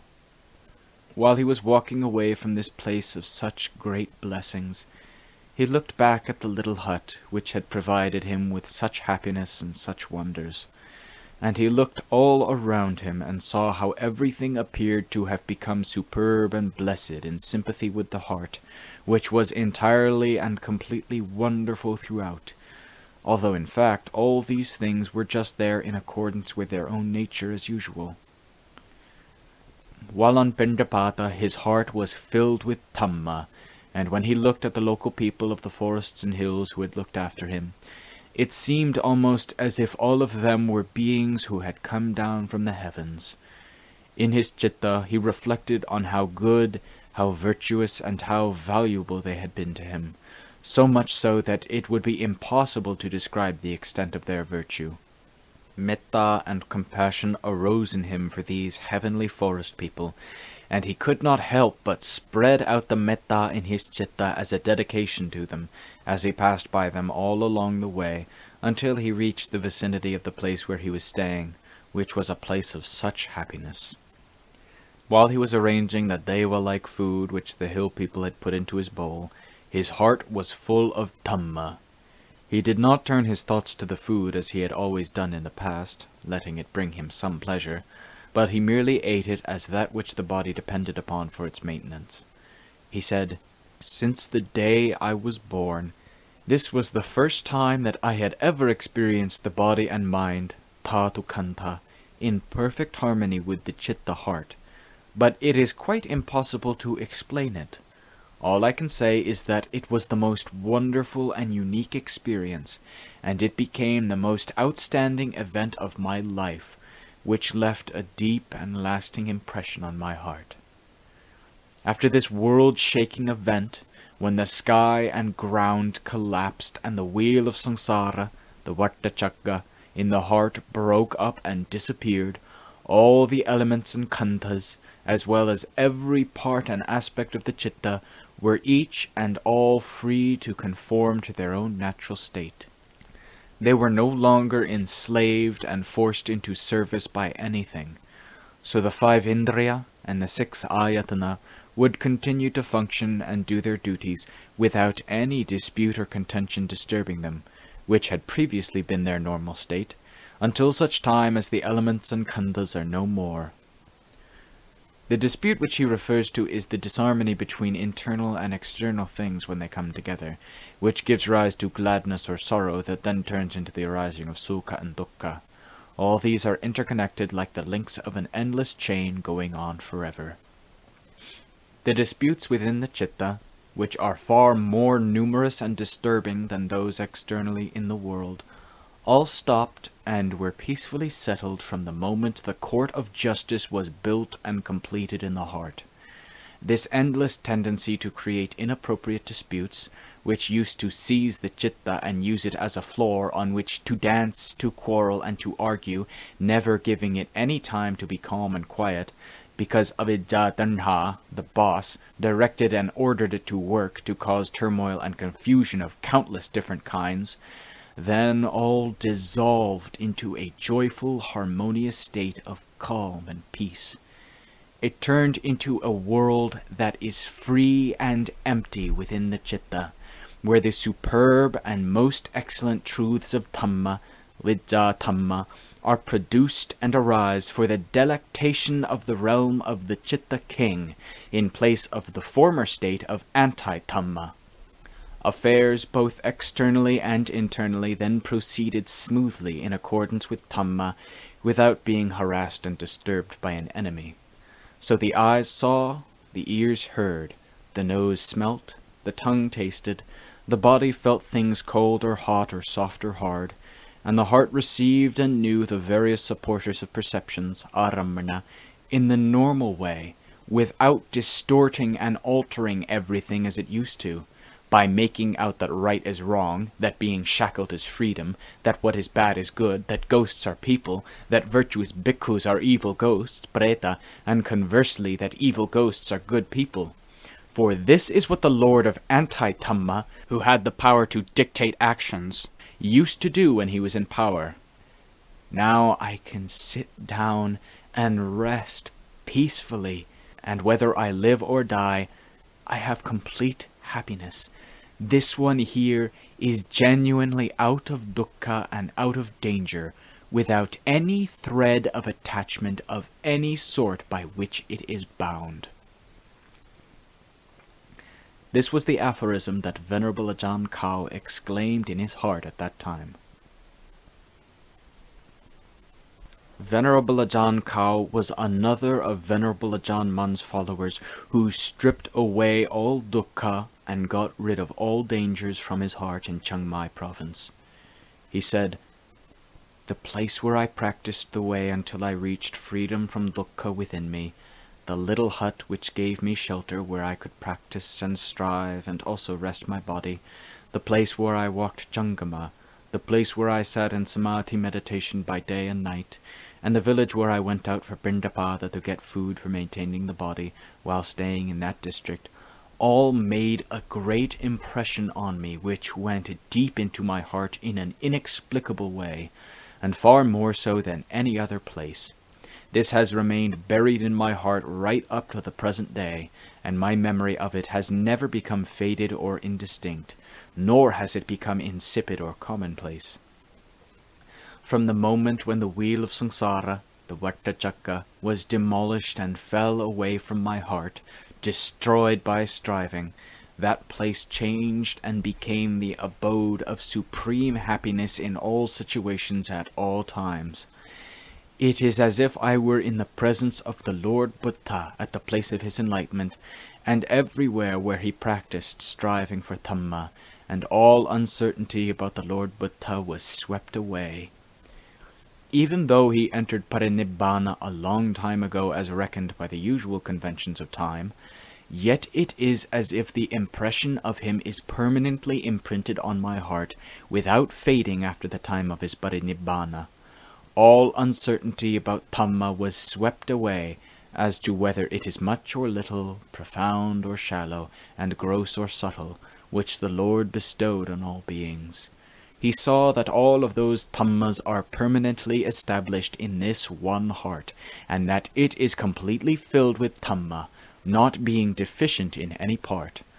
All doubt and uncertainty disappeared concerning the Savaka Sangha, who are supatipanno and who are pure.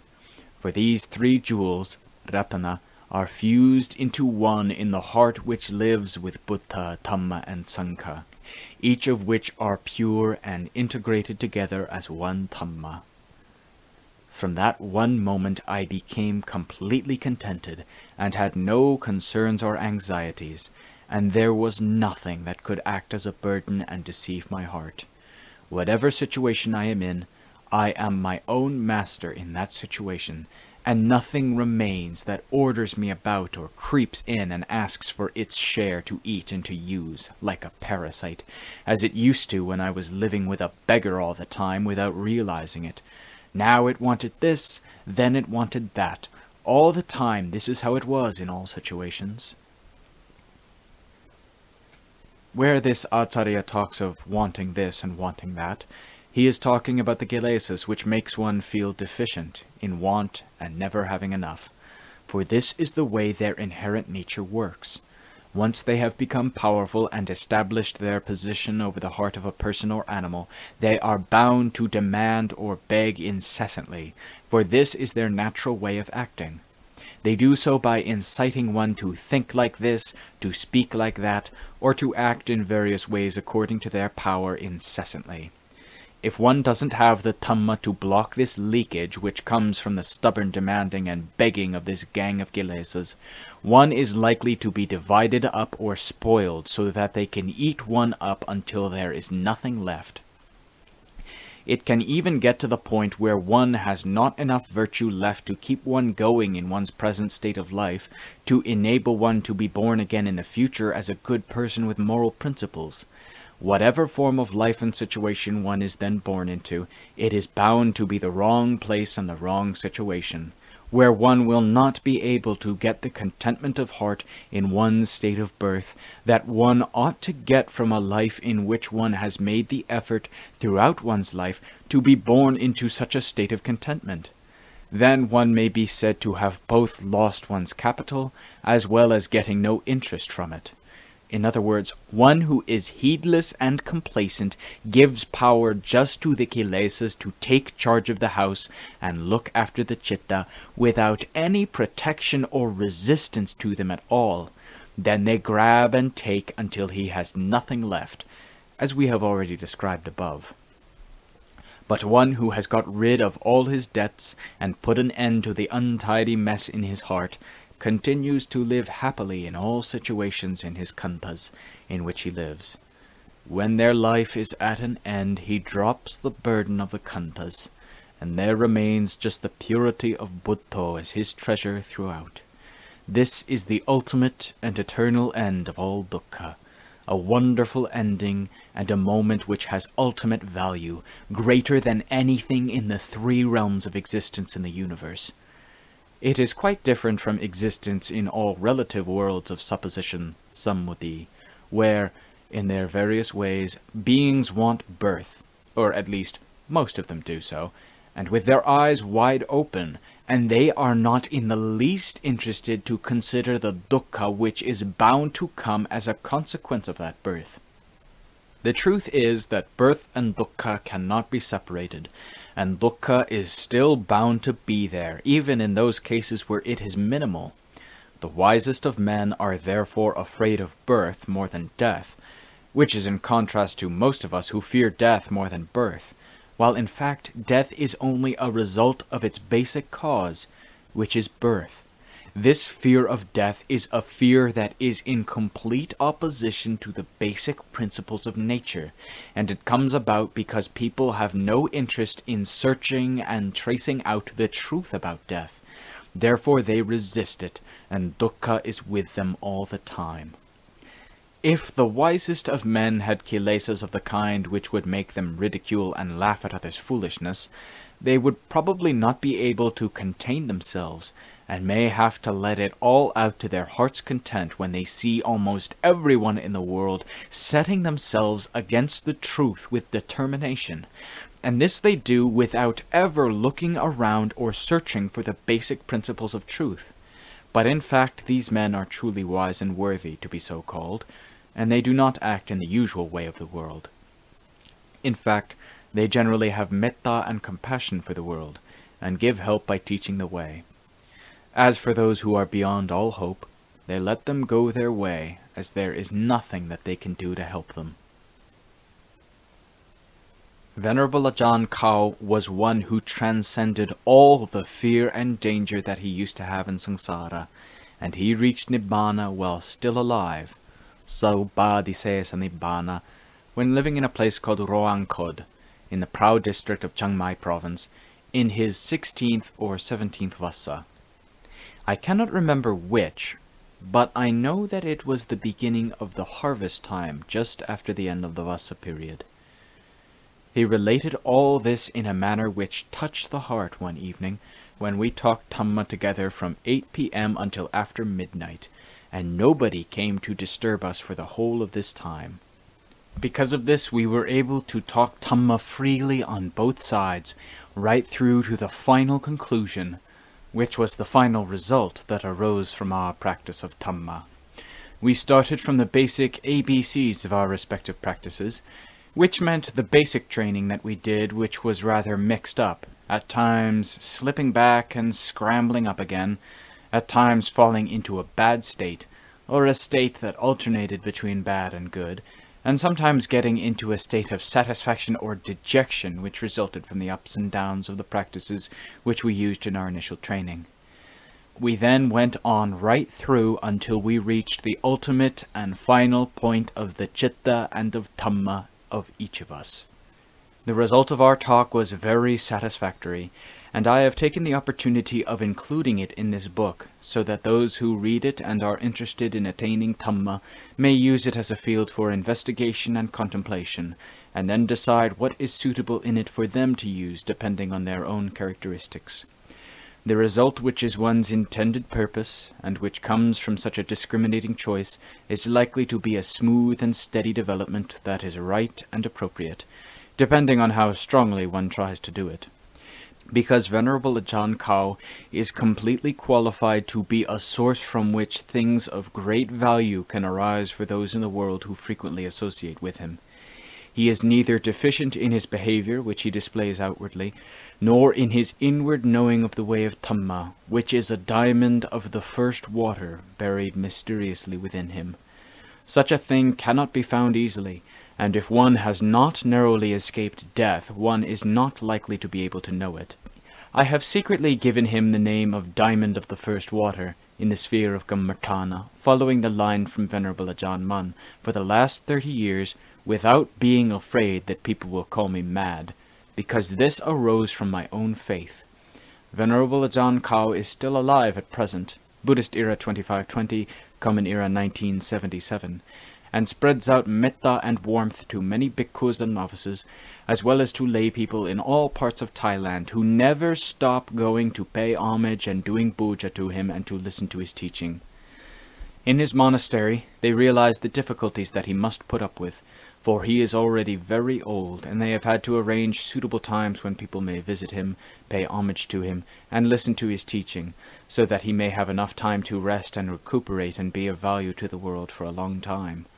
Otherwise he may break up before he reaches his natural time. The receiving of visitors and the interaction between those bhikkhus who are acknowledged teachers and the many lay people who come from all over the place to visit them is in most cases very debilitating and somewhat of an ordeal for these teachers for the whole time while these visitors are with them. For these visitors come with all sorts of preconceived views and attitudes, and generally they are very anxious to get confirmation of what they want in their own hearts.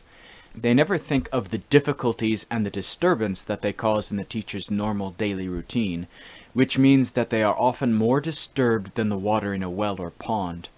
If the teacher shows no sympathy for them, they feel resentful and think that he dislikes them.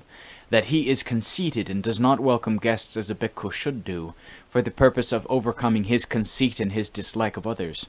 Moreover, they then build up a dislike of him within their hearts, and they spread this about telling everybody, which leads to endless harm.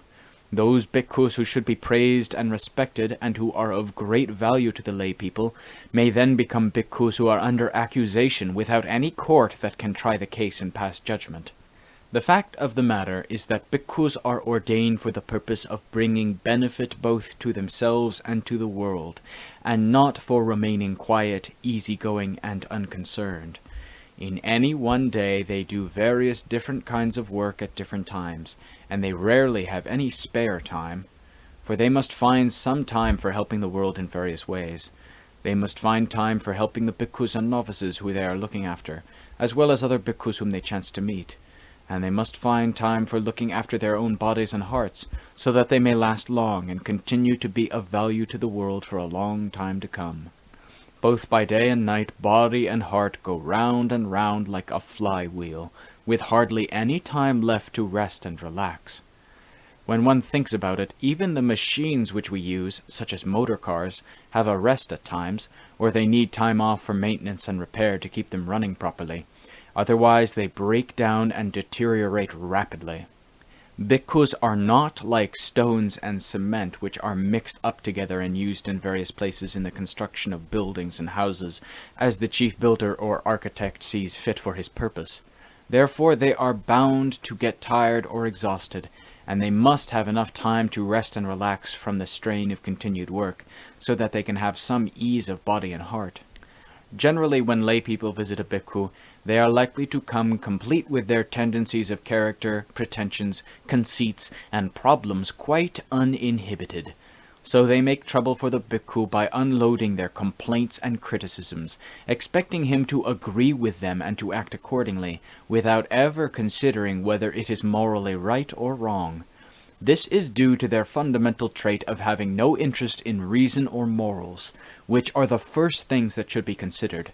Whenever any desire or want arises which requires the help of a bhikkhu, they never think how the ways and customs of bhikkhus and lay people differ, for the bhikkhus have the principles of Dhamma and Vinaya to guide and direct their actions. So the ways and customs of bhikkhus are the Dhamma and Vinaya which shows them what they should do, and they must always think of what is right or wrong, good or evil, and consider whether any proposed thing should or should not be done. But lay people have no Dhamma or Vinaya within them to act as a guiding principle to control their actions, and so, generally speaking, they tend to rely on what they like and want as their guide. Thus, when they try to get a bhikkhu involved in their affairs, he is quite likely to be troubled or harmed, even though they have no intention of doing this. Or he may be harmed indirectly by frequent requests, such as asking him to give them a number for the state lottery, which is an activity that conflicts with the bhikkhu's dhamma and vinaya, or by asking bhikkhus to make love potions which cause a man and woman to love each other, asking bhikkhus to tell them an auspicious time when they will have good luck and become wealthy, or for any one of a thousand other purposes, asking bhikkhus to do their horoscope and to advise them about their affairs, asking for magic spells and sayings to make them invulnerable to bullets, knives, pointed weapons, and clubs, asking for holy water to be sprinkled on them to annul perils, dangers from enemies, and bad luck, and all sorts of other things such as these. For all these things conflict with the characteristics and customs, which means the Dhamma and Vinaya, of any bhikkhu who gives in to them, and the more he is an acharya, a teacher whom people respect and have faith in, the more he is troubled by all these things which we have just described, and all sorts of other things of the same kind which would take all day to describe. In particular, a Dhutanga bhikkhu who is intent on gaining understanding, Dhamma, and freedom, following the lineage of Venerable Ajahn Mun, is not in the least interested in all these kinds of things. In fact, they look on them as being enemies to the right way of progress, and as things which increase the delusions of people. In the worst case, these things could lead to the destruction of the bhikkhu and of the religion, sasana, for all to see, if, for example, people started calling them lottery number bhikkhus and the lottery number religion, or love potion bhikkhus and religion, and the rest. This would make the bhikkhus and the religion seem disreputable, and it would cause its value to deteriorate steadily and inevitably. This is the kind of result that can come from doing these things.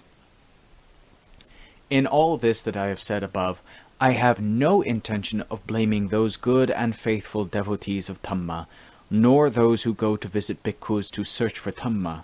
But it is necessary to let people know what is the right form of behavior between bhikkhus and lay people who have never been completely separate from each other, and how they should act and relate together so that both may have contentment and live without friction.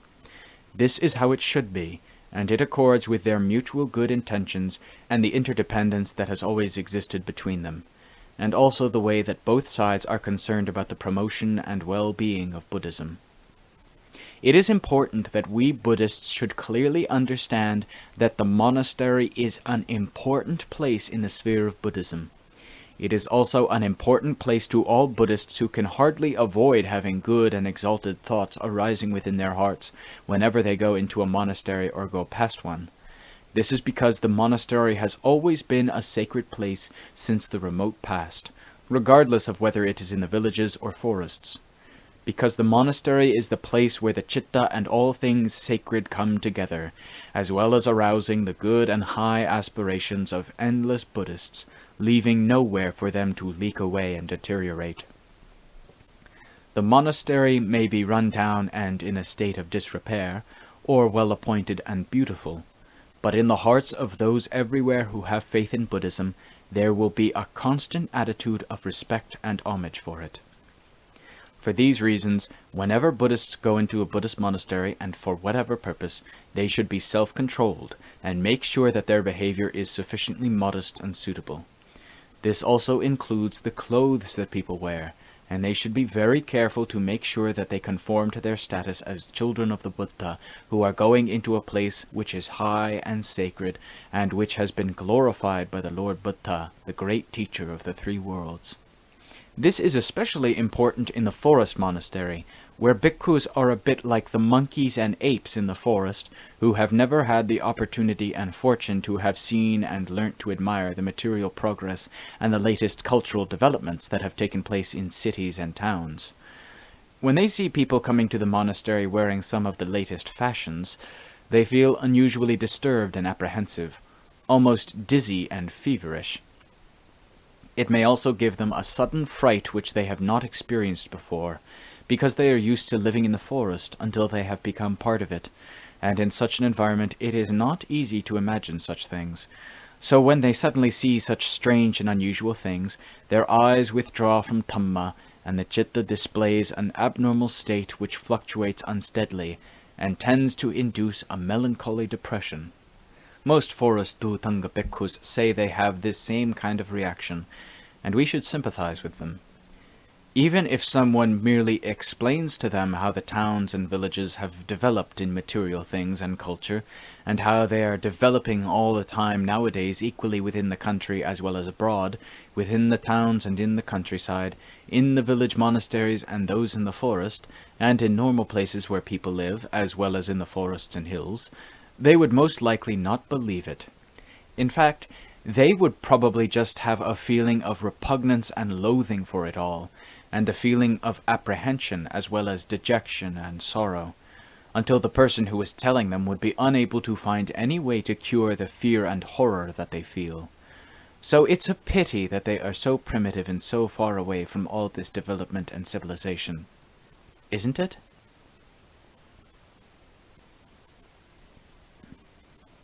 The monastery where Venerable Ajahn Khao stays is located in the forests and hills a place that is well suited to the complete development of meditation and the practice of Dhamma, for it is full of boulders, cliffs, and forests with pleasant shady trees.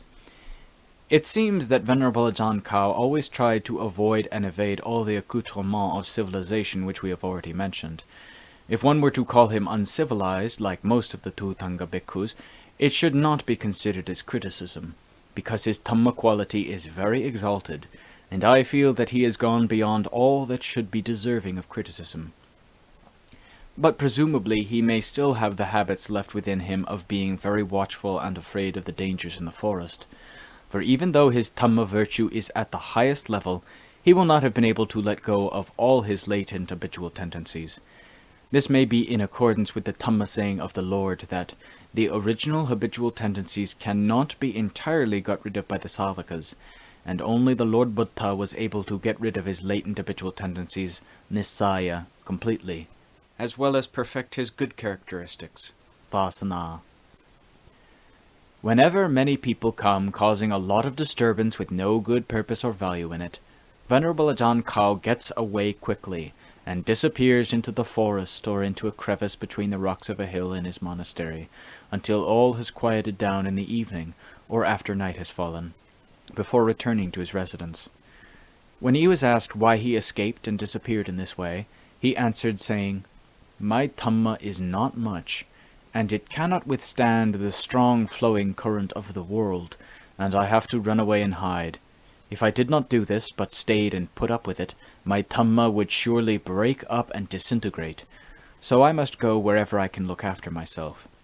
For even though I do not have the ability to help these people, I should at least think about helping myself. To the best of my knowledge, Venerable Ajahn Khao has a lot of metta and generally gives a great deal of help to other people. But on those occasions when he escapes and goes into hiding, it is probably because it is beyond his ability to put up with them, as he himself has said. Those who cause trouble and harm are the majority of people, though whether they do it intentionally or not is hard to know, but they do so continually. As for those who try to uphold and maintain sila, dhamma, and virtue, they are few, and they are hardly able to withstand the burden of doing so, and are normally bound to run into many difficulties. Generally speaking, lay people tend to watch the bhikkhus much more than themselves. When they go to a place where they should have faith and pay respect, their manner and speech tends to be quite offensive in the eyes and ears of an observer. It makes those bhikkhus who are observant realize how it is their habitual tendency to let themselves go without restraint and carelessly, while having no thought for how they might appear to other people, or how it is with themselves. This is what makes it difficult.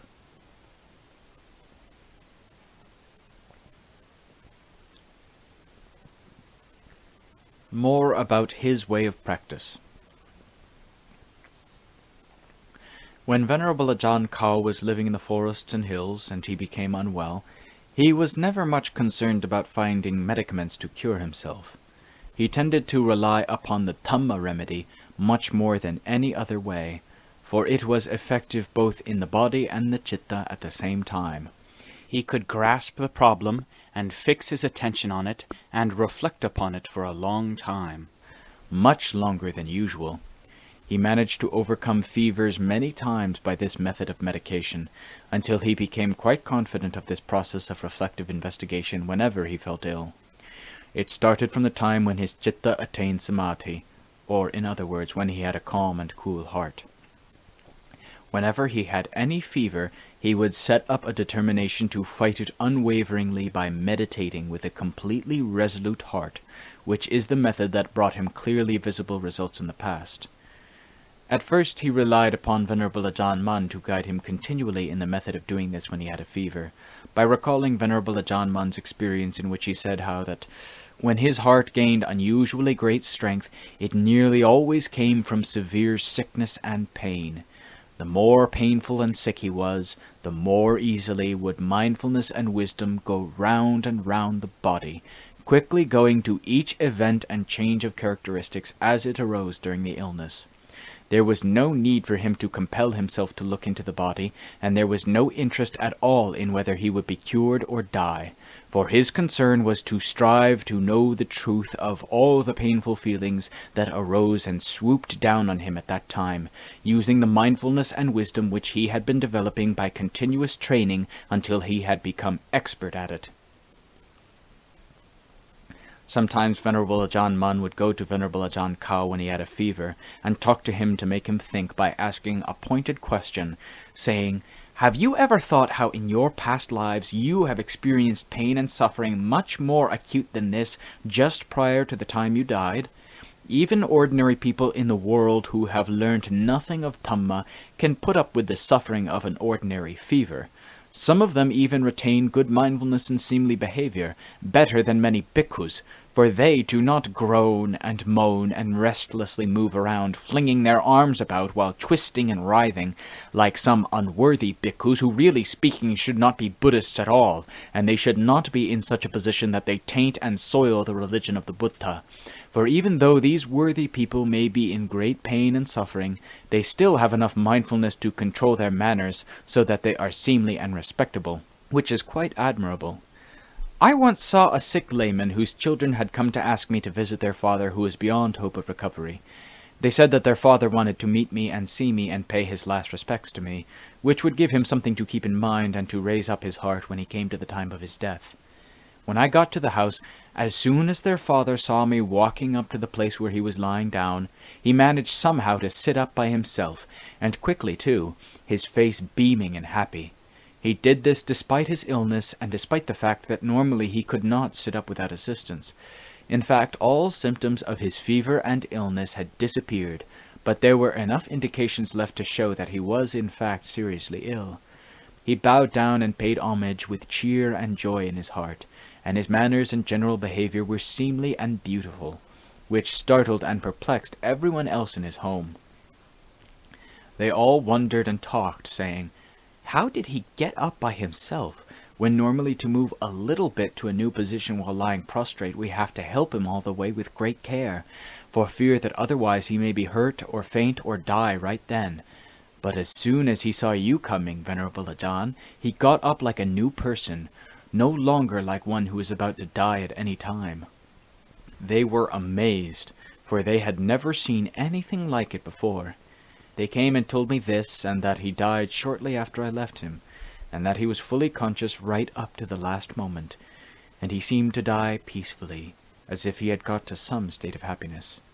But as for yourself, your fever is not severe like that man's, so why are you so careless and inattentive that you are not examining and investigating your situation?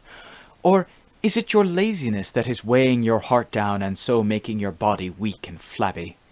If many Kammatthana bhikkhus went like this, people would criticize the way of Buddhism and the way of Kammatthana would fall apart.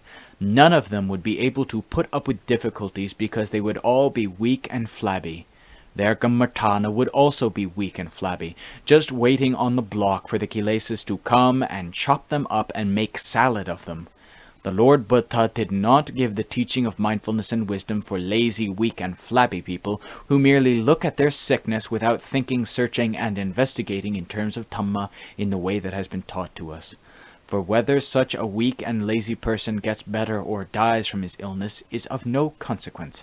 In fact, it's no more worthy than the death of a rat.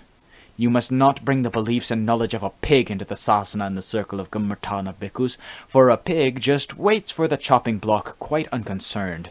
It makes me feel ashamed in the face of those lay people who are more worthy than such bhikkhus, and ashamed in the face of the rats who die peacefully and better than such bhikkhus who have a fever and become weak and lazy, and die without any mindfulness and wisdom to look after themselves.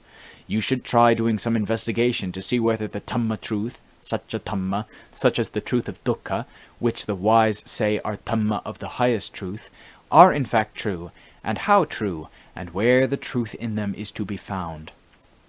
Or, does the truth dwell in carelessness, weakness, and laziness which you are promoting at present? For this is just promoting the cause of dukkha, samudaya, so that it accumulates in the chitta, making it stupid, and preventing you from rising out of it. It is not the way of the path, magga, which leads one to nothing but freedom from dukkha. I am prepared to claim that I have gained strength of heart when I have been very sick by examining the dukkha that arose within me, until I saw the place where it arose and established itself, and also its dying away and ceasing by means of true mindfulness and wisdom quite clearly. The chitta that knows the truth of dukkha and becomes calm and peaceful does not go about looking for something to change its state, but instead remains firmly within the truth, and is one and single. There is nothing in it to cause trouble or unseemly actions, nor can anything strange or false get into it to cause any doubt or uncertainty. Then painful feelings cease completely, or else, even if they don't, they are still quite unable to overcome the chitta. Each of them would then be true, each in its own sphere. This is when the Dhamma truths are the highest truths, and this is how they are true.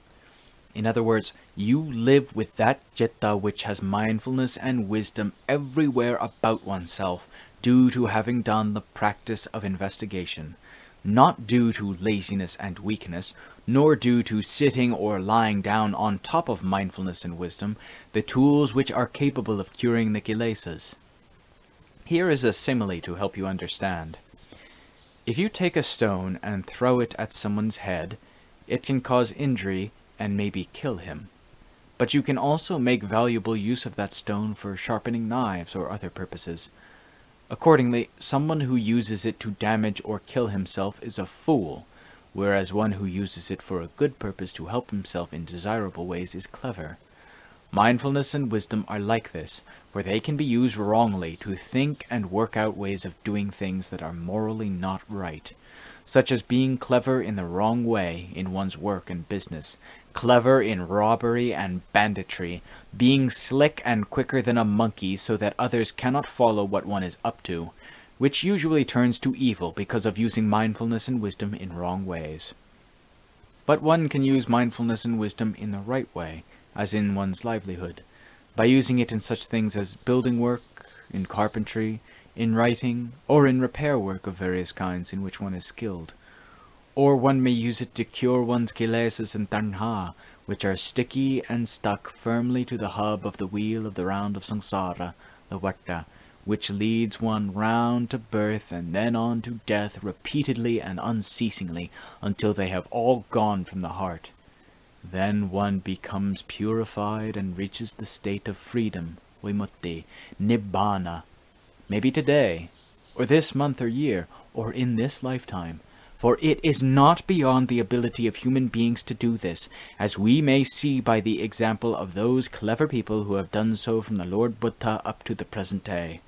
Wisdom brings endless benefits to anyone who has enough interest and incentive to use contemplative thought without fixing any bounds or limits to it, because mindfulness and wisdom have never deceived and led anyone into a state of despair with no way out, making them afraid that they will have too much mindfulness and wisdom, and that it will turn them into someone who is good at breaking up and destroying whatever Dhamma they had within them, as well as their chance of attaining freedom, and that they would be swamped and overcome while they were only halfway there.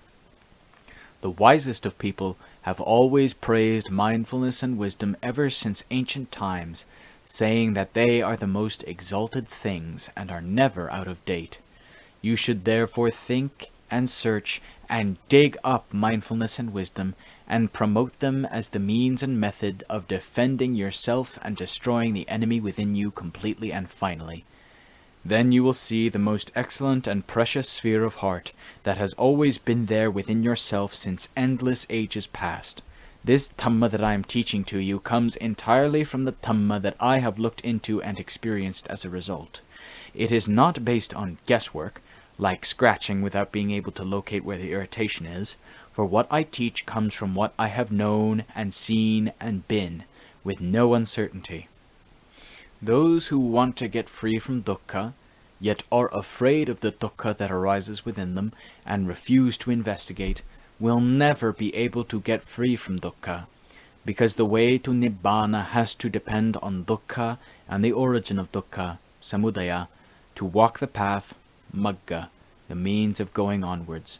The Lord Buddha and every one of the Savaka Arahants attained the fulfillment of the path, fruition, and nibbana by way of the Four Noble Truths, Ariyasatya There was not one of them that did not pass through these Four Noble Truths completely. And now, some of these noble truths are displaying their truths within your body and heart quite openly and clearly. You must investigate those truths, using mindfulness and wisdom to get to know them clearly and genuinely. You must not sit or lie down merely gazing at them, or you will become an invalid in the field of the Dhamma truths which have always been true since the beginning of the world. If we Dhutanga Kammatthana bhikkhus cannot face the truth which is displaying itself so clearly to us, who else will ever be able to face it and know it? because those in Kammatthana circles are closer and more intimate with the Dhamma truths than those in other circles elsewhere, and they should be able to know and realize them first before all others. In other circles elsewhere outside of Kammatthana, even though they will also have the Dhamma truths as an inherent part of the body and mind, yet they differ in that they avoid doing any investigation which would lead them to understanding them in a different way. This is due to their disposition and opportunity, which influences them variously in different ways. But the Dhutanga Kammatthana bhikkhu is in a special situation, in that everything is complete for him to progress and to walk towards the truth, which is apparent within him all the time. If you have the blood of a warrior who is worthy of the name given by the great teacher, which is the true Sakyaputta Buddha Janorasa, son of the Sakya, the victorious Buddha, you must try to investigate so as to realize the truth clearly. This truth of painful feeling is announcing its presence within you in a clear and unmistakable manner in your body and mind right now. Don't let the painful feeling and this opportunity pass by uselessly, but instead, I want you to take out the truth from that painful feeling and bring it up to mindfulness and wisdom. Then mark it well, define it, and let it be known, and bury it in the heart firmly and indelibly. From then on, it may act as an example to show that out of these four aspects of truth which the Lord Buddha proclaimed throughout his teaching, I have now gained a clear understanding of this first truth, the truth of dukkha, by means of my mindfulness and wisdom, and there is no longer any room left for doubt. But rather, I will endeavor to promote and to make that truth develop steadily and increasingly, until every bit of doubt has disappeared. If you strive to do what I have just taught you, even if that fever that you have becomes increasingly strong in your body, it will be as though you yourself are perfectly well and fit. In other words, your heart is not disturbed, apprehensive, and shivering, nor caught up following the characteristics of pleasure and pain which arise in such circumstances. But you will have a steady sense of pride and satisfaction, which will come from what you have known and seen in a calm, steady manner. You will not display any outward behavior, restlessly moving and changing about as the fever gets worse or better. This is what is meant by learning Dhamma for the truth, and the wisest people have all learnt it in this way. They do not wishfully imagine other types of feelings as they would like it to be, thinking how they would like this or that kind of feeling according to their desires, all of which just accumulates the cause of dukkha, so that it increases and grows much stronger, instead of going the way one should want it to go. You must take this to heart and remember it well, and go on investigating to find the meaning of Dhamma, which is the truth that is within yourself. This is the basic ground which each should be able to know by himself, for I am just the one who teaches the way to do it. But as to whether the pupils are fearless and valiant or weak and flabby depends entirely on those who do the investigation, and no one else has any say in this at all. Well now, for yourself, you are a pupil and you have a teacher who teaches you, so you must act in a suitable way as befits the situation. You must not lie down inert like a rag for wiping people's feet, letting the kilesas rise up and walk all over you to beat you out flat. This would be disastrous and bring nothing but trouble in the future. Now don't say I haven't warned you. Venerable Ajahn Khao said, When Venerable Ajahn Mun gave me this Dhamma talk, it was like a violent storm that comes and then passes away and disappears. I felt as if I would float up into the air with rapture, piti, joy, and heartfulness from this teaching which was so skilled and penetrating, and came entirely from his sympathy, his metta, and nothing else could have been so valuable to me at that time. As soon as he had gone, I took up the practice of the methods in which Venerable Ajahn Mun had so kindly instructed me, and I started to examine and unravel the problems of the painful feeling, which was presently apparent to the utmost of my ability, without any tendency to want to give up doing so, or any other forms of weakness at all. While I was doing this investigation of painful feeling after Venerable Ajahn had gone, It was as if he was still there, sitting with me, waiting to see and waiting to show me how to do it and to help me the whole time. But more than that, it gave me strength of heart to increase my fight with painful feeling. While doing the investigation, I tried to separate dukkha out from the khandhas. In other words, the body and all its parts I put into one heap, khandha. Memory, sanya, which stands by to define or determine, thereby deceiving us, I divided into a second heap. Sankhara, which is thinking and imagining, I put into a third heap, and the chitta I put separately into a special category. Then I investigated, I compared, I looked for causes and results from the start to the end of the dukkha, which was making itself apparent in my body, milling around in confusion. But I did not think about whether the dukkha would die away and I would survive, or whether it would get worse and I would die.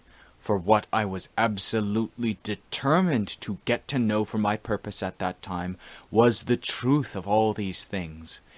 In particular, I most wanted to find out what in fact the truth of dukkha, dukkha satcha, was. Why should it have such power as to be able to shake up and disturb the hearts of all beings throughout the world without exception? This is the case both when dukkha arises in normal circumstances due to all sorts of different causes, and also when they reach the end of their lives, and they are just about to leave this life and go to a new state. All sentient beings of every kind feel very apprehensive at this time, and none are ever bold and fearless enough to face up to it and accept it, except when they have to face it because there is no other alternative and no way out. If there was any way to avoid it, they would be bound to escape to the other end of the world to get away from it, just because of the fear of death. I am also one of these sentient beings in the world who are timid and frightened of dukkha. So what should I do about this dukkha that I am now experiencing, in order that I may be bold and fearless, with the truth as my witness? Well, I must contend with dukkha by using mindfulness and wisdom, following the teaching and method of the great teacher and my own teacher as well. A short while ago, Venerable Ajahn Mun had the metta to teach me in a way that went to my heart and left me no room for doubt. For he taught me that I should fight using mindfulness and wisdom, by separating and analyzing these heaps, khandhas, and examining them to see quite clearly. Right now, what khandha is this painful feeling, dukkha vedana? Is it form, rupa, or memory, sanya, or thought and imagination, sankhara? Or is it consciousness, vijnana? And can it be the chitta? If it cannot be, then why do I make out that the painful feeling is me, that I am painful, that it is truly me? Am I really this painful feeling? Or what else am I? I must find out the truth of this today. So if the painful feeling does not stop, and I have not come to know this painful feeling quite clearly with true mindfulness and wisdom, I shall go on sitting here in meditation until I die if necessary. But I will definitely not get up from this place just to let the painful feeling laugh and mock and ridicule me. From then on, mindfulness and wisdom went about chopping up and analyzing in what became a life or death struggle. And this battle between the chitta and painful feeling went on for five hours. After this, I knew the truth of the khandhas, and I was able to know each one on its own. But in particular, I knew the feeling group, Vedana Khandha, most clearly by means of wisdom.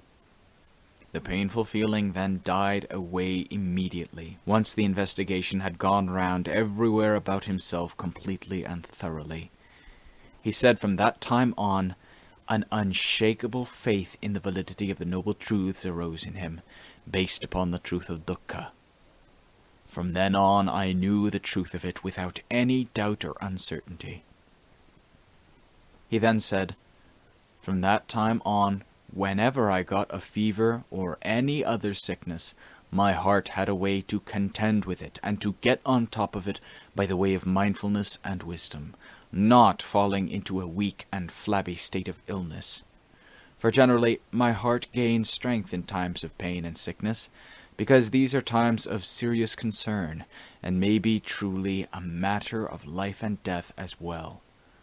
The Dhamma which I used to believe in as if it were a plaything without realizing it, which is the usual characteristic of an ordinary person, Pathujjana, at normal times when he is not in any special difficulties, then displayed the truth for me to see clearly at that time while investigating the painful feeling all round.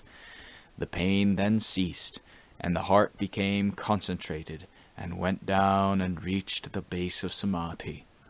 All doubts and problems with regard to the body and mind then ceased, while they were at rest, until the chitta arose up out of it, which took several hours.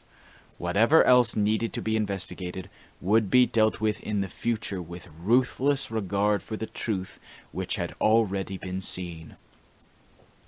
When the chitta became concentrated, went down, and reached the basis of samadhi due to the powerful influence of the investigation, the fever ceased immediately and did not return again. It was quite extraordinary how this could happen.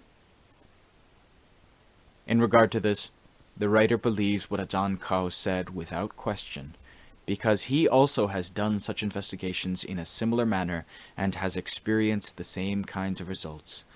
This makes me fully confident that the Dhamma remedy is quite able to take care of sickness in subtle and strange ways, and to appreciate those who do the practice and have tendencies of character in this direction.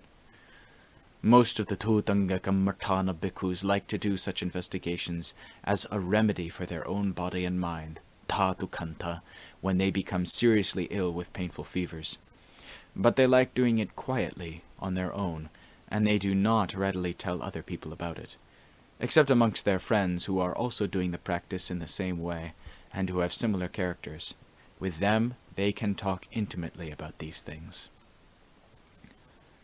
It must be understood, however, that in talking about curing diseases by the method of meditation in the foregoing paragraphs, this does not mean that all diseases can be cured by such methods. Even the bhikkhus are by no means sure which diseases can be cured in this way and which cannot. But they are not inattentive or negligent in regard to whatever happens, and to whatever changes take place within themselves.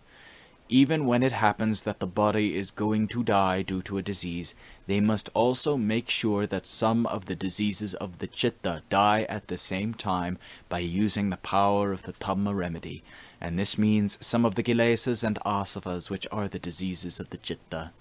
Therefore they are relentless in their investigations into the various diseases that arise, both in the body and in the chitta, because they are confident that this is an important and necessary duty in connection with their khandhas and chitta, which they must investigate and accept responsibility for right up to the last moment. Venerable Ajahn Khao always liked to deal with his fevers by using the Dhamma remedy. At one time he was staying in a hilly part of Sakon Nakhon province, which at that time was infested with malaria. One day after he had finished eating his food, he immediately began to feel feverish and shivery. He wrapped himself in several blankets to keep warm, to no avail. He looked about for a warm place, but it was useless, so he gave up trying to get warm by external means. Then he decided to overcome the external feelings of cold internally by the way of Dhamma, which he had already used with success in the past. He told the other bhikkhus who were with him to go away and leave him alone, and to wait until they saw that he had opened the door of his little hut before coming to see him again. After all the bhikkhus had gone, he began to get down to the practice of investigation of painful feelings in the way that he had done it before. It seems that he started about nine o'clock in the morning, and went on until three o'clock in the afternoon when he succeeded. The fever died away, and he was cured right there, and then the chitta became concentrated, and went down and reached its natural level, where it rested for about two hours. Finally, at about six o'clock in the evening, he left the place where he had been practicing samadhi meditation with a buoyancy of body and heart, without anything left to cause him trouble. The fever had completely gone, and his chitta had become bright and skilled with wisdom, exalted and famous within himself, and he has lived with the Vihara Dhamma since then, right up to the present.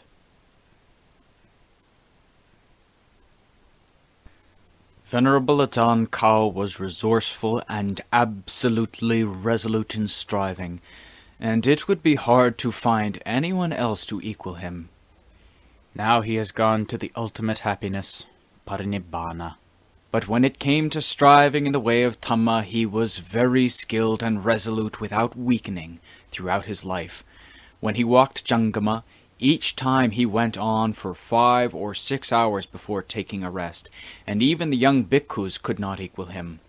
Such is the striving of the wisest men, who are so very different from the rest of us, who tend more to look forward to the time when we can rest our heads on our pillows, as if pillows are more exalted than the path fruition and nibbana, which, when one looks at it and thinks about it, should make one ashamed of how clever one is in those ways which are completely lacking in essential value. An unusual and remarkable thing about Ajahn Khao was how whenever he thought about anything, that thing came in accordance with his thoughts almost every time. For example, he might have thought about an elephant which he had not seen for many years, and how it had not been seen here at all, or maybe it had been shot by a hunter. Then, in the middle of the night after such thoughts, the elephant would come straight up to his hut and stand there playfully touching and stroking things round about, so as to let him know that he had come, after which it would turn and go back to the forests and hills, and he would see no more of it, for it would not normally return. When he thought about any of the tigers, the same sort of thing would happen. If he thought of a tiger which used to roam about the district and how he had not seen it for ages, and perhaps it had been killed, when he thought of it in the day, that tiger would come at night and wander about the Wat and about where he was staying, so as to leave marks to let him know that it was still alive. Then it would go back to the forest, and would not stay about there or return again. He said that it was very strange how whenever he thought of any animals round about, the one he thought of would soon appear, and this happened almost every time. It was as if something went and told those animals to go to him. But a bhikkhu who is so exalted inwardly as Venerable Ajahn Khao must surely have devas to wait on him all the time, to help him and make things convenient for him, and to follow his thoughts and wishes. Then, whatever he thinks about, that thing will come to him in answer to his thoughts, whatever they may be. Otherwise, why should things come to him right after he thought about them every time like this? For other people such as ourselves can think about innumerable things and go on thinking over and over again about them without seeing anything coming in answer to our thoughts and desires. At least, nothing which should make us think that we may have some virtue, and that we are people who are worthy of reverence like Venerable Ajahn Khao.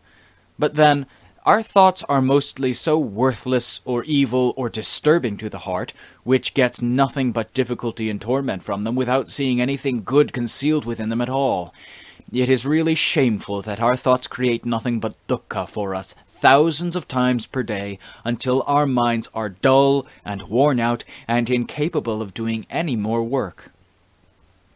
Venerable Ajahn Khao had a very large number of followers, including bhikkhus, samaneras, and lay people from all parts of Thailand, who regularly came for teaching and training in Sila Dhamma. Although by the end of his life he tried to live quietly and be on his own much more than he used to, so as to preserve the khandhas and extend their life as far as he could, and also to be of value to those in the world who he should accept and help, and there were very many of them. After he had finished eating his meal, he usually started walking Chankama and working in the ways of Dhamma practice for one or two hours. Then he left the path where he walked and went back to his room, where he rested and did meditation practice until two o'clock in the afternoon.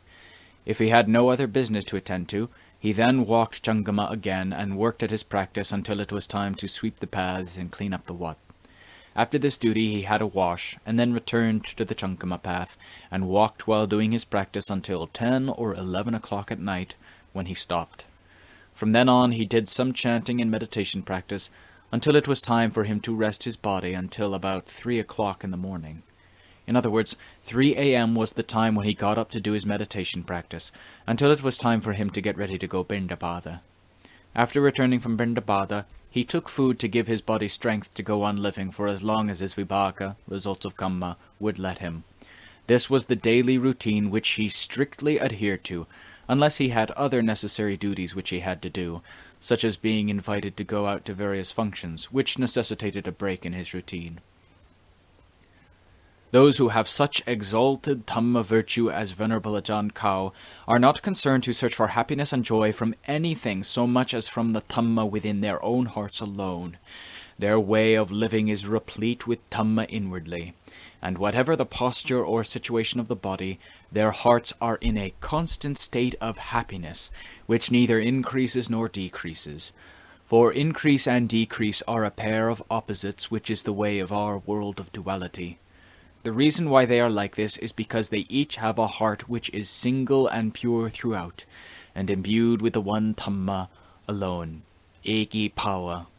This makes no relationship with anything else such that there would be a duality, with one standing out better and more prominent than the other. Therefore there is a peace and happiness in it which cannot be compared with anything else. For the chitta which has purity throughout its nature is a chitta which has a calm, peace, and happiness which is entirely satisfying, and there is no desire for anything else to increase or develop it, for it would only cause turbulence and concern in vain, without being of any value at all to that chitta. So those who possess such a chitta like to dwell alone, and they have no liking for distractions and disturbances, because they are things that trouble the calm and happiness in this natural state which is complete in itself. For such things cause the chitta to stir and vibrate and to receive knowledge via the various sense doors. This is why they like to slip away and live in a way that suits them, which is the most appropriate and right way for their characteristic tendencies. But others who do not truly understand their ways are likely to think that they do not want to receive guests, or that they do not like people, and they slip away to save themselves alone, and they are not interested in teaching and training other people. But in fact, the truth is as we have described it above. As far as teaching goes, it is hard to find those who teach with complete purity of heart and filled with metta, without any interest in worldly gain or any recompense at all, such as Venerable Ajahn Khao. Because in teaching people of every level, every class, and every age, they teach with true knowing and true seeing that is completely genuine and aimed at bringing benefit to whoever receives it, and they do so with metta in a manner that is unimpeachable, the only exceptions are in those cases when some people go and trouble them with irrelevant and unnecessary things, like those we have described above. So they may not receive and teach everyone who comes, because it is not possible for a bhikkhu to act in wrong ways just to comply with the unreasonable requests of those who do not keep within the limits of what is reasonable and proper. For the bhikkhu himself would become involved, be in trouble, and come to loss together with the one he is sorry for. For some years, Venerable Ajahn Khao spent the Vassa period in the hills on his own, while relying on two or three families of farmers to give him food when he was out on Pindapata each day. He said that for those who are ordained, this type of life provides the most happiness and peace of heart for the practice of Dhamma, all one's time is filled with the effort to practice the way, and there are no other burdens or duties to trouble one. One's time is one's own, one's effort is one's own, in every situation, and the citta with Dhamma is one's own in all that one does, and there is nothing to distract one and divide up one's attention, causing it to diminish below what it had been before. One who is ordained and who lives in the present as if tonight is the only night left to him is not concerned how much longer he is going to live, nor with any of these disturbances, for this that he is doing is of incomparably greater value than anything else. Venerable Ajahn Khao said that when he spent the Vassa period by himself in the hills along the borders of Sakon Nakhon and Kalasin provinces, he lived in a place three or four miles distant from the nearest village. There were many wild animals in that district, including tigers, elephants, wild oxen, red bulls, barking deer, wild boar, and deer of various kinds. At night he used to hear these animals, their calls echoing through the forest, and they would wander in search of food, often coming close to where he was staying almost every night. Sometimes he could see them, and they came so close to him he could almost make out what kind of animal it was. Seeing these animals made him feel joyful, with metta and compassion for them.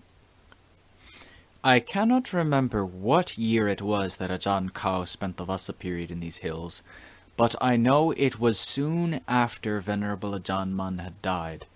He said how, in this Vassa, when he practiced meditation for samadhi, it seemed that Venerable Ajahn Mun came to visit him constantly throughout that Vassa to talk Dhamma to him and give him friendly Dhamma advice, Sammodaniya Dhamma.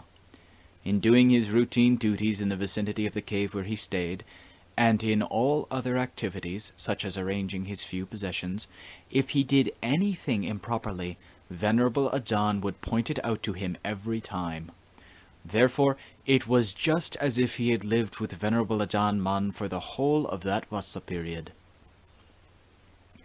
Venerable Ajahn Mun came and told him about the customs and traditions of the Dhutanga bhikkhus who are intent on attaining freedom, saying, The various Dhutanga routines should be maintained and done properly in the way that the Lord Buddha prescribed, and they should not be altered.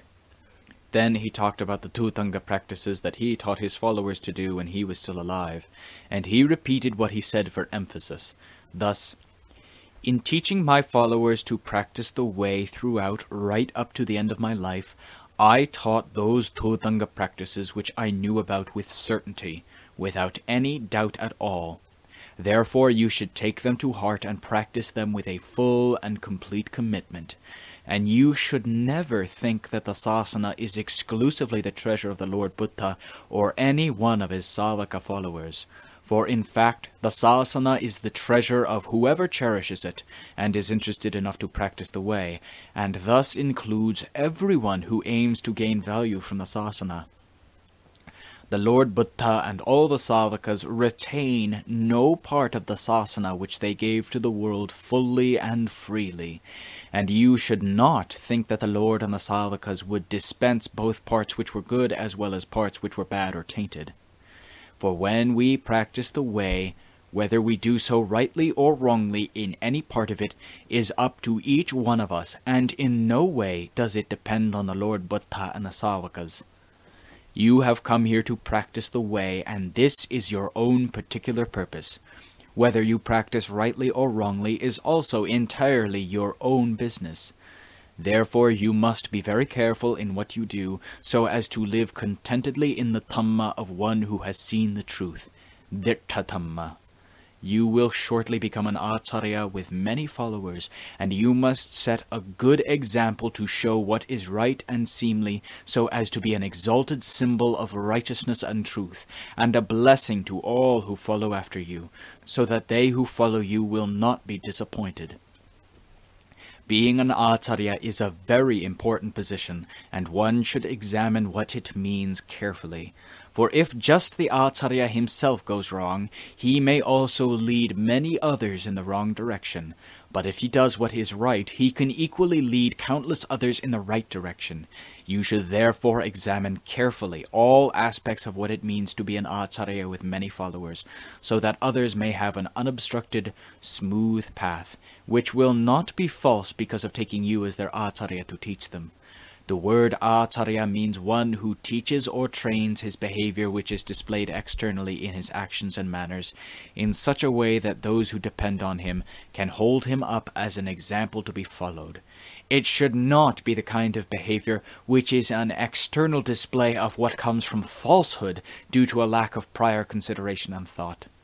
The Lord Buddha, who we call the Sasada, the great teacher of the world, was not the Sasada only at those times when he was giving a talk on Dhamma to those Buddhists who came to listen to him, for he was the Sasada at all times, in every situation and position, and whether reclining on his right side in the lion posture, sitting, standing, or going about the place.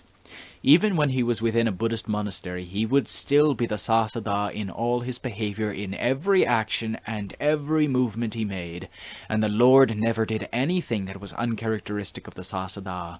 Therefore, one who has mindfulness and wisdom and an inclination towards assessment and contemplation could take every movement and every gesture that the Lord made as a moral example that teaches people over and over again.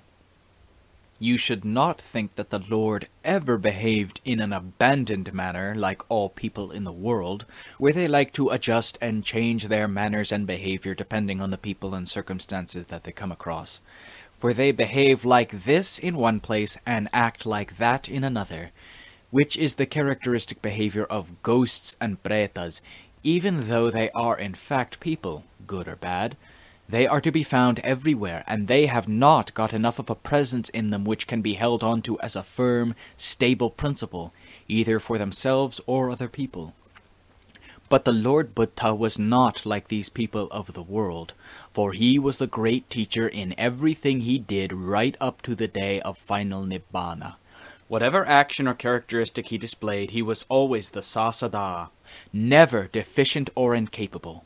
So whoever holds to him as their refuge, which means a basic principle or example of how one should act and do things, can do so at any time in whatever they are doing by following his example without any doubt as to whether the example of the Lord is suited to this occasion or not. This is why the title of the great teacher, the Sasada, of the triple world system is well suited to the Lord. Even when the Lord was about to enter Parinibbana, he did so in the lion posture. He did not lie down as though he had thrown away his limbs and body, careless of them, afraid of death and repeating mantras and magical verses, so that he would go to this or that place or realm, which is the way of ordinary people everywhere in the world, but he died and entered Parinibbana composed in the lion posture. Meanwhile, his heart went through the process of entering Nibbana with unwavering courage and discipline, as if he was about to go on living in the world for aeons of time in the future. In fact, the Lord proclaimed that he was the great teacher at these final moments by entering Jhana and Nirodha Samapatti, and then withdrawing from them until the right moment came and he entered Parinibbana, fully supporting his status as the great teacher without any remaining attachments to anything in the triple world. That was how the Sasada, the great teacher, showed an example which was a standard pattern for the world to emulate, and he did this from the moment of his enlightenment to the time of his parinibbana. Nor did he diminish or give up any of his standards of behavior below that required of the great teacher by behaving in the manner of the average ordinary person, for he dutifully maintained his position to perfection right to the end. Therefore you should take up the example of the Sasada and put it into practice. For even though you will not be able to match the perfection of the Lord in all respects, it will still be in the category of one who follows the word of the teacher, not drifting uncontrolled like a boat in a storm adrift in the middle of the ocean which has not put out its anchor. The practice of someone who is ordained, but who has no right and firmly founded basic principle within him, is likely to be without any real purpose that can enable him to determine whether he will reach a shore of safety, or whether there will be various dangers ahead. He is like a boat without a rudder, and is not likely to be able to sail where he wants to go, and he is likely to drift with the ocean currents which can easily lead him into great danger. The principles of Dhamma and Vinaya such as the Dhutanga observances, are the rudder of the practice which lead it to a safe goal. Therefore you should take hold of them and grasp them firmly, without wavering or vacillating, which would lead those who follow you, who will be many, to uphold this example and go wrong accordingly. The Dhutanga observances are the practices which go straight and directly towards the goal, and there is no other practice that can equal them in this. It requires only that those who practice them must also use mindfulness, wisdom, faith, and effort in striving to do so. That Dhamma which they are hoping to attain should be within the scope of the Dhutanga practices that have been handed down to us, and it is quite certain that they are capable of leading us to it without any doubts or obstacles being able to prevent it. For the Dhutanga observances are the only way which leads to the beyond of dukkha. There is no other way, so you should not feel uncertain or have doubts. This way of Dhamma is also the place where all the methods of practice and development gather together and lead into the process of quenching all dukkha. Those bhikkhus who have a liking for the Dhutanga observances as their mode of development are those who have love and faith in the great teacher, who is the first teacher whereas those bhikkhus who have taken up the Dhutanga observances as their way of progress are those who have an established tradition and the great teacher as their refuge in every situation. Wherever they go or stay, they have Dhamma to help and protect them in place of the Sasada. They are not lonely, aimless, or unstable, for their principle of heart is the principle of Dhamma, and this principle of Dhamma is the heart, their breath going in and going out is Dhamma, and it is intimately blended into a single unity with the heart. These people are the ones who are eternally living with Dhamma, and they never become disturbed nor off balance. For yourself, it is true that you do not have anything to worry about, but there are many other people who will associate with you, and you should have concern for all those who follow you, both fellows in Dhamma and lay people as well, so that they may feel contented in the practices which they have picked up from you, that they are a means of making progress, and that they are the right way and correctly portrayed without error. This is how he taught me, said Venerable Ajahn Chah. He said further that if he slept over the time for him to wake, even just a little, Venerable Ajahn Mun would come and point it out to him, saying, Don't trust yourself more than Dhamma, for yourself is the round of samsara, the vata. The elements of the body and the khandhas are the results that have come from the round of samsara right from the beginning. You should only give way to it to the extent that is necessary, but you must not give way to the khandhas more than you have to, for to do so is against the way of a bhikkhu whose nature is not inert or careless. Sleep and lying down for those who are truly wise is only for the purpose of giving a temporary relief to the elements of the body and the khandhas, and they do not look for pleasure pleasure or contentment from easing off the tiredness and weakness of these elements and khandhas. The bhikkhu who lies down as a bhikkhu should must be careful to remind himself of the time to get up. Like the mother of a deer who lies down to rest when out looking for food, who must be more mindful and careful of herself than normal. To lie down properly means to be careful to set up mindfulness, to make the intention to get up at the time that one decides to get up before going to sleep. Not lying down in the manner of one who sells off worthless goods, letting the customer give whatever he feels like giving for them. The bhikkhu who lies down letting his body go however it will is not a son of the Sakya, a Buddhist who guards the religion, promoting it in himself and others, but a bhikkhu who sells things having given up trying, letting the buyer fix the price. To lie down properly in the manner of a bhikkhu who is endowed with sila and dhamma as religious duties, a bhikkhu must have a regular pattern of procedure to follow before going to sleep, and this habit makes him careful and self-possessed when he lies down properly to sleep. As soon as he wakes up, he must get up quickly, not lingering, which is the way of a lazy person who tends to get up late, and who dies immersed in careless indifference, never waking enough to become aware of himself. Lying down in this way is the way of an animal whose self has no meaning in its own life, and it is also the manner of a lazy person who destroys whatever value he has, and is unable to rise up and improve himself.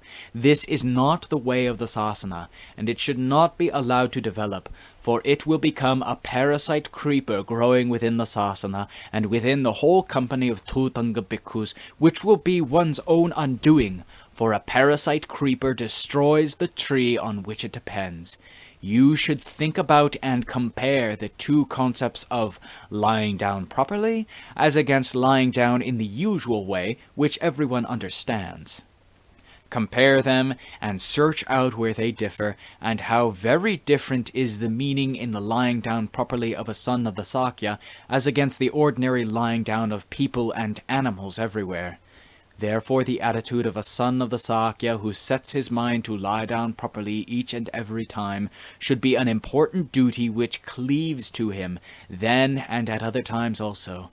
This is important to one who is said to wear the mantle of mindfulness, and who has the wisdom to think with understanding and to use thought and contemplation in everything that happens not just thinking, just speaking, just acting, just lying down, just waking up, just eating, just taking his fill, just standing, just walking, just sitting down, all of which are just the behavior of carelessly relaxing, and going beyond the status and basis of a son of the Sakya who should never act in these ways. It is generally understood by people that after the Lord Buddha and each of the Savaka Arahants had entered final Nibbana, they went into oblivion, and no longer had any meaning or relationship to oneself and other people. But this Dhamma, which is the basic causal condition that teaches us to practice in the present, is this not the Dhamma of the one who dug deep, searched, and brought it up for the world to see and to follow in practice? And the whole body of this Dhamma, how did it remain, and why did it not go into oblivion also? The fact is that both the Buddha and Sangha are the pure heart which has gone free, beyond the limits of both death and oblivion, by virtue of its nature. How could it die, be consigned to oblivion, or become meaningless, when its very nature does not accord with relative convention, sammati? When its nature no longer accords with relative convention, it is not subject to the power of death, nor going into oblivion, nor becoming meaningless. Thus, Buddha is Buddha in its own right, Dhamma is Dhamma in its own right, and Sangha is Sangha in its own right, and they are not shaken or disturbed by any of the ideas, attitudes, concepts, or thoughts of the relative world of conventions which create and destroy themselves. Therefore, the practice of Dhamma which accords with Dhamma, Dhammanudhamma, is the same thing as being face to face with the Lord Buddha, the Dhamma, and the Sangha, the whole time that one has Dhamma which accords with Dhamma within the heart. Because the knowing of Buddha, Dhamma, and Sangha by natural principles must arise in the heart, which is the most suitable dwelling place for Dhamma, and no other vessel is more appropriate to it. This was the teaching with which Venerable Ajahn Mun admonished Venerable Ajahn Khao in his Samadhi meditation practice, when he saw that he had erred in some way. As, for example, in practicing the Dhutanga observances incorrectly or not strictly enough, and waking up from sleep at the wrong time. He said, In truth, Venerable Ajahn Mun did not admonish me just with the idea that I had done something wrong, but rather with the understanding that this acharya will be associated with many people, including bhikkhus, novices, and a large number of lay people in the future. Therefore he advised and admonished me often, so that this acharya will become strict and fully conscious in recalling the duties, so that he will pass them on to all the other bhikkhus and novices who come to live in dependence on him for peace and help, and they will be good and worthwhile things in the same way as Venerable Ajahn Mun led his followers to practice the way. Venerable Ajahn also taught him that all one's possessions, such as the bowl, kettle, robes, and other things which one uses in one's dwelling, should be put down or put away properly and tidily, including also such things as rags for wiping one's feet. If one sees that any of them are not clean enough to be used, one should take them and wash them before putting them to further use. After using things, one should put them away or fold them up and put them away tidily, not just leaving them lying about all over the place. If on any one day this Acharya became too absorbed in some other affairs that came and intruded into his life, which made him forgetful and careless, he would see Venerable Ajahn coming to him in the middle of the night while he was practicing samadhi meditation, and he would admonish him and teach him and point out the way of Dhamma to him.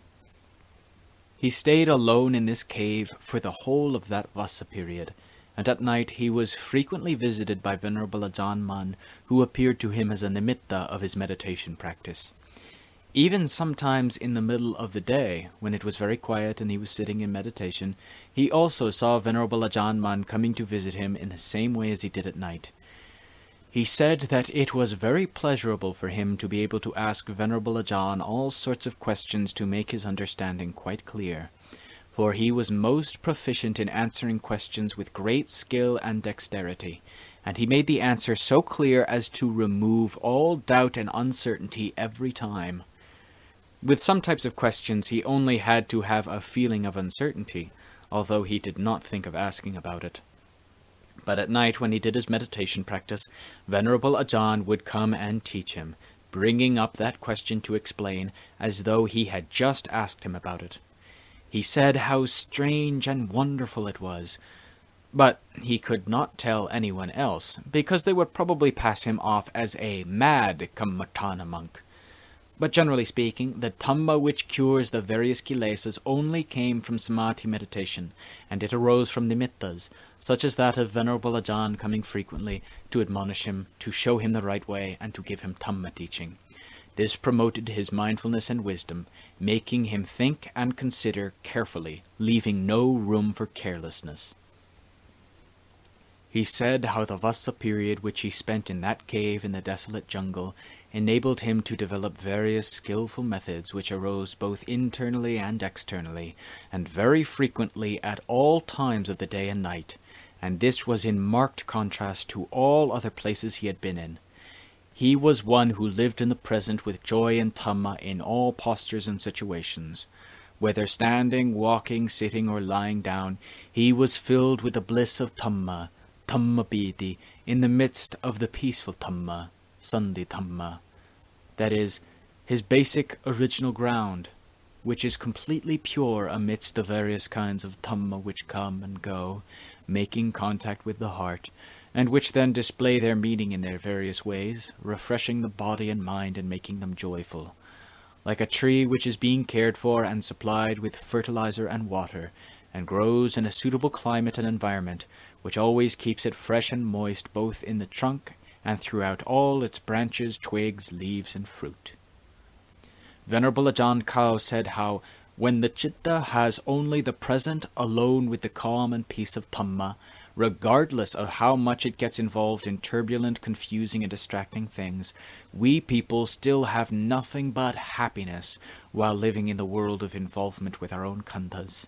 There is no need to struggle to find happiness and contentment in other places or realms, which would be creating images to deceive ourselves, causing us to become ambitious and to develop craving, tanha, and the uprising of dukkha, samudaya, the seed of dukkha that would come to burn our own fingers and so make for a lot of dukkha and difficulty in vain. Because the happiness which we know, see, and live with dwells in that heart, and it is a happiness which is already sufficient and complete. This entire world and all other worlds, however many there may be in the universe of samsara, then seem as if they do not exist, but that which does exist and which is quite clear and apparent is the chitta with Dhamma, which seems to cover the whole universe, lokadhatu. Though to explain this or to make any comparison with it is impossible, because there are no characteristics or data by which one can classify it. For the chitta and the ultimate Dhamma, acharya Dhamma, belong to each other, and they are not within the realms of convention, sammati, so there is no basis for making any comparisons or suppositions. After the end of that Vassa period, those lay supporters who had helped him and looked after him with faith in him invited him to come where they lived and begged him to have metta for them and to be a teacher to them, their village, and the whole district of Sawang Daen Din in the province of Sakon Nakhon. so he had to leave the place where he had been staying, even though he longed to go on staying there, and he had not thought of going elsewhere for a long time. When he had taught the villagers for some time, he took his leave of them, and went wandering wherever he felt like going, in the manner of the practice of Dhutanga Kammatthana. Sometimes he crossed the Mekong River into Laos, and stayed on the banks of the river, and at other times he crossed back into Thailand. After this, he went wandering and practicing the way in an area that is mountainous and covered with thick forests, called Moatong Jungle, which is in the districts of Bung Kan and Phon Phisai. In this area there are many places which are good and suitable for practicing the way, and there were some newly established villages made up of only a few houses. The people there invited him to spend the Vassa in that place for their benefit, and as it was a place which suited his temperament, he agreed to stay there for that Vassa period. While he was staying and practicing Dhamma in the hills of the Phon Phisai district, he said that he was fascinated and glad at heart to see all the different kinds of animals there, and he had much metta for them. The animals he saw included wild fowl, pheasant, all sorts of birds like hornbill and peacock, as well as animals like the palm civet, barking deer, wild boar, ordinary deer, monkeys of various kinds, gibbons, wild dogs, tigers, leopards, elephants, wild oxen, and red bulls, each of which were far more prolific than elsewhere. They wandered about in packs by day and night, and he could hear their cries echoing loudly through the forest, each group coming regularly at the same time every day. Some days when he went out walking for pindapata, he would see a large tiger walking most gracefully in the forest ahead of him. It was quite close to him, walking fearlessly, proud and dignified, which is its nature. He said that when it was walking in the forest ahead of him, where there was a clearing, it was beautiful to see the way it walked. The first time he saw the tiger, it glanced at him just momentarily, and went on walking without looking back at him again, as though it was not in the least afraid of him. But inwardly it was probably careful and watchful, which is in character for an animal that has good mindfulness and is inherently cautious, and that does not easily let go and become fascinated with anything. As for the Acharya, he had no thought of fear for the tiger, because he had seen them before on many occasions, and he had heard them growling and roaring so often while staying in the forests in all sorts of places where it was quite normal for such animals to live all the time, so he was quite accustomed to them and had no fear of them. One evening he was sitting and teaching the way of Kammatthana to the bhikkhus who were staying with him, who were about three or four in all. He said that they heard three large, playful, and reckless tigers roaring, each one in a different direction. After that, they heard them growling threateningly at each other with some fighting, and then they went completely quiet. After a while, they heard them growling and fighting close by.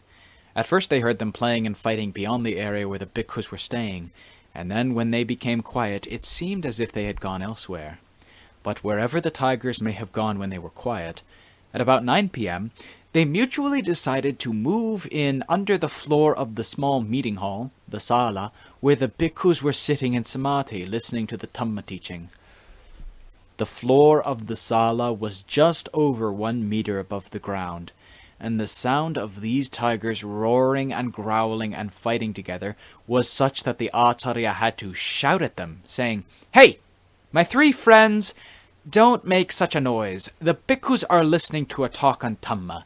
This is bad and evil, and you could end up in hell. Don't say I didn't tell you, for this is not the place for being boisterously noisy, and you should all go away and roar and growl elsewhere. This is a monastery for bhikkhus who like to develop calm, unlike yourselves. So go and roar somewhere else to your heart's content, where nobody will come to disturb you.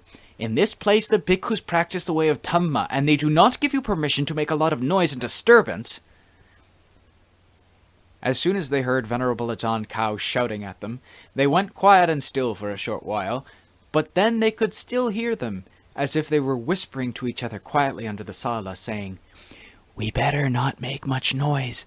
The bhikkhus are annoyed and shouting at us, so we must talk quietly, or it will be bad and evil, and we may soon end up with swords on our heads.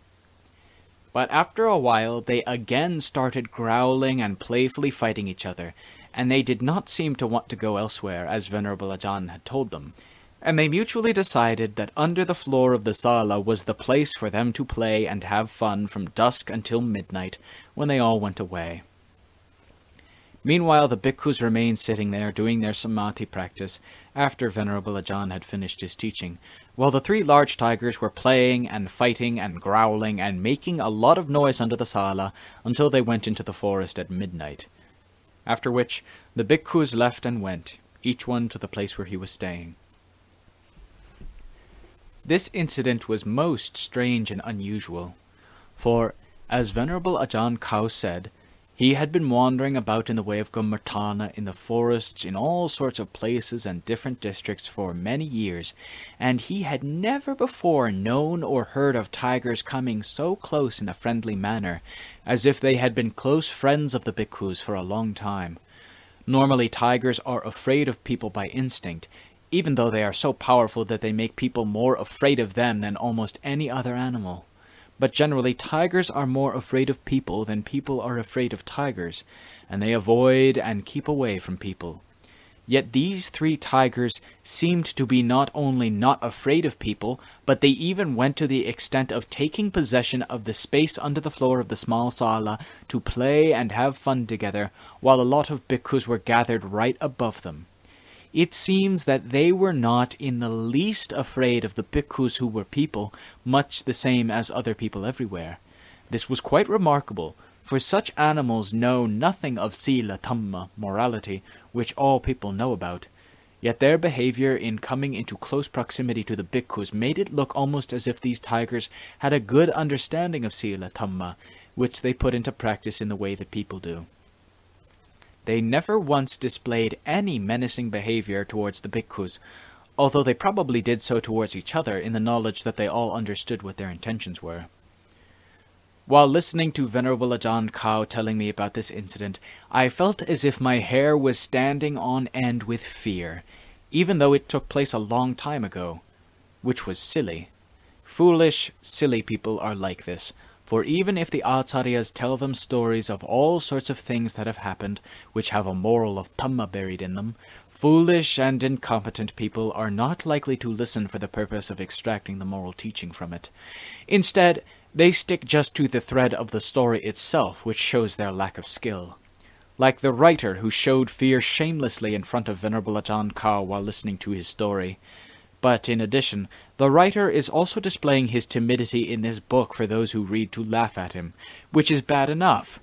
But having read this, please be careful, and don't let this kind of story penetrate into your heart to haunt it, or many of you are likely to become timid and silly people also.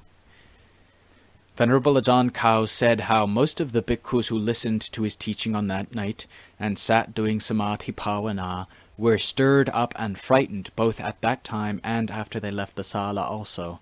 Their eyes and ears were wide open when they heard the three great teachers coming to give them training and to help Venerable Ajahn by staying under the sala.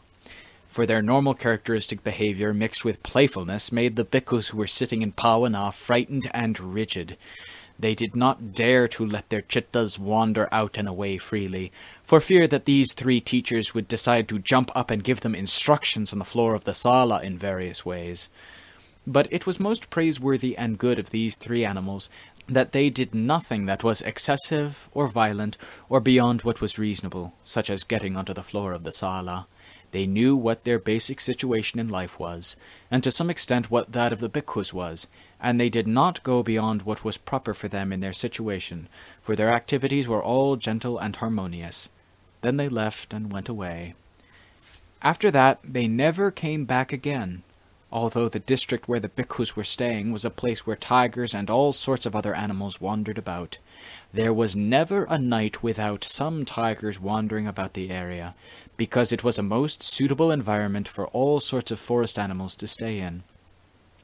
For it was all hills and jungles, and very extensive, so that if someone were to walk right through it, it would take him several days. There were all sorts of animals there, as we explained above, but there were large numbers of each type. There were many herds of elephants and packs of wild boars, and each group was composed of many animals, and they were not much afraid of people.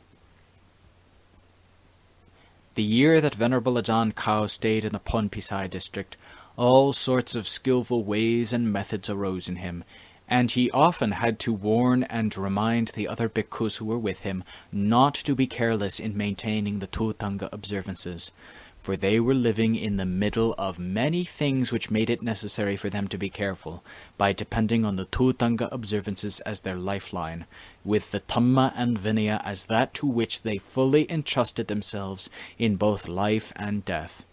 In this way they could live happily without being scared and apprehensive of all sorts of things which might otherwise make them jump with fright.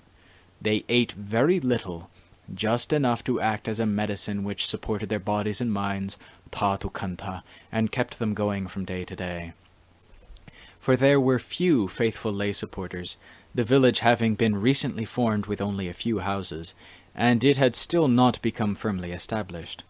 But it was the intention of these bhikkhus, who had pledged themselves in Dhamma, to train themselves to put up with difficulties for the sake of the Dhamma of living inwardly in a state of peace so they were not much concerned about their living conditions, nor whether they got a lot of food in pindapata, for such things would otherwise become an obstacle in the way of what they were trying to do. As for medicines and remedies for sickness, they had confidence in putting up with the pain and fighting the sickness by striving hard in samadhi bhavana.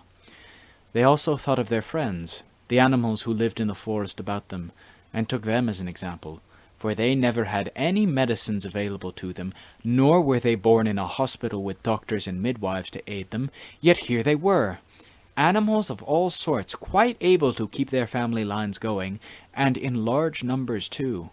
And they never show any grief or disheartenment at their lack of medical attention from doctors, nurses, and all sorts of medicines and medical devices and machines whereas the bhikkhus are of human birth, and are sons of the Sakya, the lineage of the Buddha, the great teacher whose name resounds throughout the triple universe, and who learnt everything in the books of the three levels of existence by means of endurance, khanti, effort, virya, wisdom, skill, and ability in all ways, Never was he caught at a loss, unable to find a way out, nor was he ever weak and lazy and inclined to give up.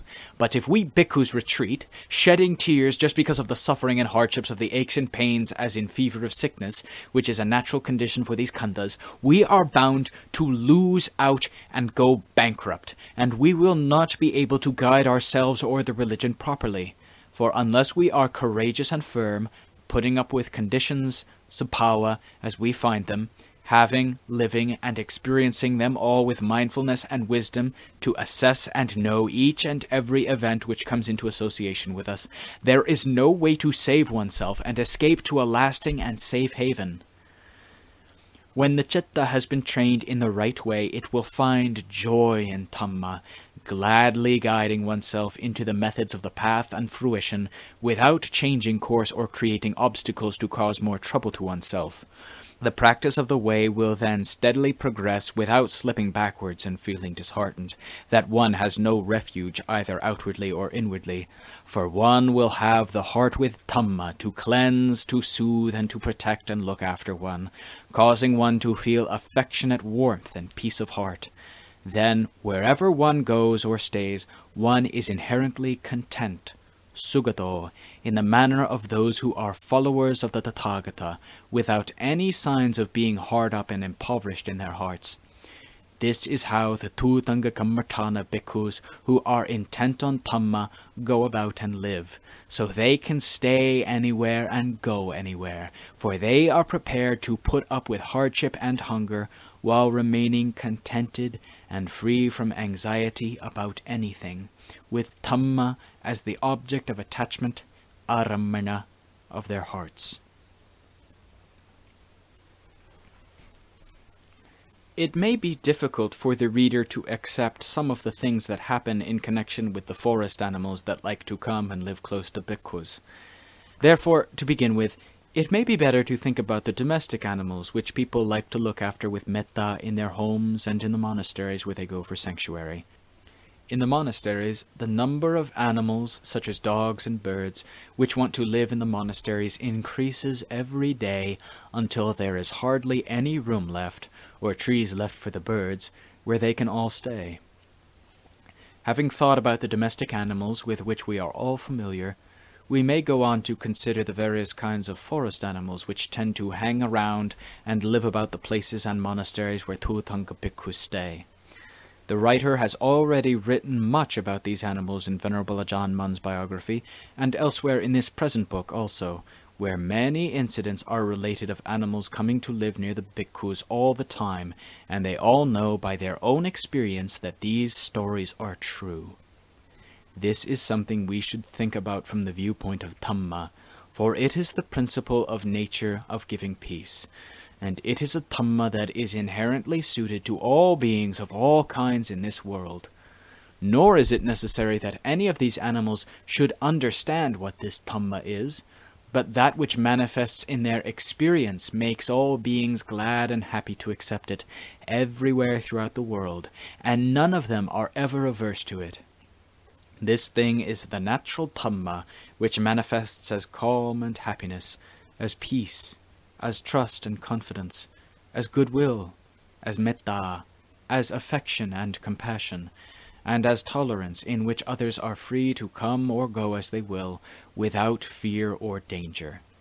These are some of the things which flow from this Dhamma, and animals of all kinds like it and readily accept it without any need to go to any school to be taught about it, because the citta and the outflow of Dhamma are a pair which should be together, far more than the possession of any external titles, rank, or authority, which are like ornaments added to oneself, that can dissolve and disappear depending on circumstances which are fickle and uncertain. Therefore, even though the animals have never known what Dhamma is, they will generally search on their own for those things which they naturally like and tend to accept readily, like the way in which stray dogs go and stay in a monastery, and forest animals go and live by Dhutanga bhikkhus, because the animals understand that Dhamma, which means peace and security, is to be found in that place, so they search for it in their own way. Even those people who have never had any interest in Dhamma know those places which are secure and safe, and they like to go wandering, having fun, and playing in such places. This has been the case right through from ancient times to the present, because it would not be safe to act like this in other places. This explanation should be enough for us to understand how Dhamma and the place where people live and practice Dhamma is the place where animals and people everywhere feel confidence and freedom from danger. So they tend to relax and dispense with their usual caution, and there are some who go so far as to forget themselves completely, without thinking how other people feel about it, and whether their behavior is appropriate to bhikkhus who are the treasure of their country. For those who practice Dhamma generally know what is good and what is evil. They know good people and bad people, good animals and bad, in the same way as people do everywhere. So people should think of others, and how they also cherish their treasure, and they should not let go of all restraint everywhere for there are always limits and bounds within which people and animals should remain, each in its own situation, and they should not mix up their relative modes of behavior until one cannot tell who is who, because they are all behaving in the same way. Venerable Ajahn Khao liked wandering about, searching for secluded places, and he frequently moved from place to place. Normally, he liked to wander in the manner of Dhutanga practice, in the forests and hills where he was staying, and he also liked to change the place where he did his practice very frequently. Thus, for example, he would go to stay in a certain place as his base, but in the morning he would go off somewhere else to do his practice. Then, in the afternoon or evening, he would go to another place, and at night he would wander off to yet another place, all in the vicinity of his base. He used to change the direction he went in, sometimes going far and sometimes close by. At times he would change to another cave, moving from the cave which was his base, and he would go up to the top of the hill or to a rocky outcrop, returning to his base dwelling late at night. He said that the reason he acted like this was because when he was in confusion and disturbed while curing his defilements, kilesas, he found that by changing his situation in various ways, such as this, wisdom would arise all the time. Then none of the defilements were able to get a grip on him, because they were up against the skilful ways of mindfulness and wisdom, which beat them into a corner, trapping them in various ways, so that they were forced out and got rid of time after time. If he had stayed in just one place, he would have got used to that place and settled down there. But the Kilesas would not become used to it nor settle down, and they would keep increasing regardless of whether he was used to anything or not. So he had to change about and alter his methods and his environment very frequently in order to keep up with the deceptive tricks of the Kilesas, which plant themselves and develop and increase and fight against oneself incessantly without ever taking time off for a rest. If there is any respite from them, it is only in deep, dreamless sleep. Otherwise, they are working all the time. Because of this, in striving to develop oneself, if one relaxes, weakens one's efforts, and puts off doing the practice, letting time slip by, it encourages the kilesas which laugh and gain heart. By changing one's place and methods of practice very frequently, one can see one's losses and gains against the kilesas, which gives them no chance to feel satisfied that they are the sole master in charge. His reasoning was most intriguing, and what he said was an excellent example for those who do not let the kilesas rise up and walk all over them, due to an easygoing overconfidence ruining every move that the chitta makes. Venerable Ajahn Khao liked to wander in the districts of Pusing, Puwua, Pulanka, Dong Motong, in the districts of Ampea Seka and Ampea Phon Phisai in Nong Khai province, as well as Ampea Ban Pang in Nakhon Phanom province. In these places there are plenty of hills, such as Pu Sing, Pu Bua, and Pu which are all good places and most suitable for the practice and development of Dhamma. But they are far away from villages, too far to go pindapata, so it is necessary to have some people who take turns to bring food. All these places were full of wild animals of all sorts, including tigers, elephants, wild oxen, and red oxen, amongst many others. In the afternoon and evening one could hear their calls and roars echoing throughout the forest. Anyone who had not truly overcome death would find it difficult to stay there, because there were many tigers in those places, far more than in other parts of the forest, and they were not afraid of people. Some nights, while walking Chankama and developing his practice, one of the tigers would creep up and crouch down to watch Venerable Ajahn walking, without any fear of him at all. But it never did anything to him, and it may have just wondered what he was up to, so it crept close to sniff and have a look. As soon as Venerable Ajahn Khao heard an unusual sound that he could not place, he shone his flashlight there, to see a great tiger leap away, sometimes right close in front of him. Even after that, he was able to go on walking Chankama and doing his practice, without any fear or thoughts that the tiger would come back and jump on him, maul him, and eat him, because his faith in Dhamma was stronger than fear of the tiger, so he was able to persist and keep on doing his practice. Sometimes he would climb up the hillside in the evening, from where he could see large herds of elephants, which were going for a walk along a large area of rocky outcrop which stretched for miles. As it was not covered by forest, he could see the elephants quite clearly, both large and small, going out to search for food. He said that while watching this herd of elephants, who were having fun teasing each other and playing together, he went on happily looking at them, quite absorbed until the late evening and it got too dark to see, for they liked to tease each other and play together in the same way as people do. Venerable Ajahn Khao had a streak of very strong determination in his character, which may be seen from what we have written about him already. He had no difficulty in sitting in meditation practice all night, and there was nothing that prevented him from doing so, for sitting in meditation practice from dusk to dawn is no small thing, and unless one is the kind of person who has a heart full of courageous determination, so firm that it seems as if it could cut through a diamond, one cannot do it. So we should give him our heartfelt praise and admiration. It was in ways such as this that he was fully capable of being a teacher, an acharya to his followers, enabling them to gain peace ever since he started teaching up to the day of his death. He had absolute certainty in himself that he had reached the end of becoming and birth, and this was completely self-evident to him, even though he was still wearing the five khandhas. When it reached the time for him to let go of the khandhas, he went to the state of ultimate happiness, Paramang Sukhang, in all respects, and he became totally free of all responsibilities and concerns. This brief biography of one of the most important and outstanding of Venerable Ajaan Mun's followers is now completed.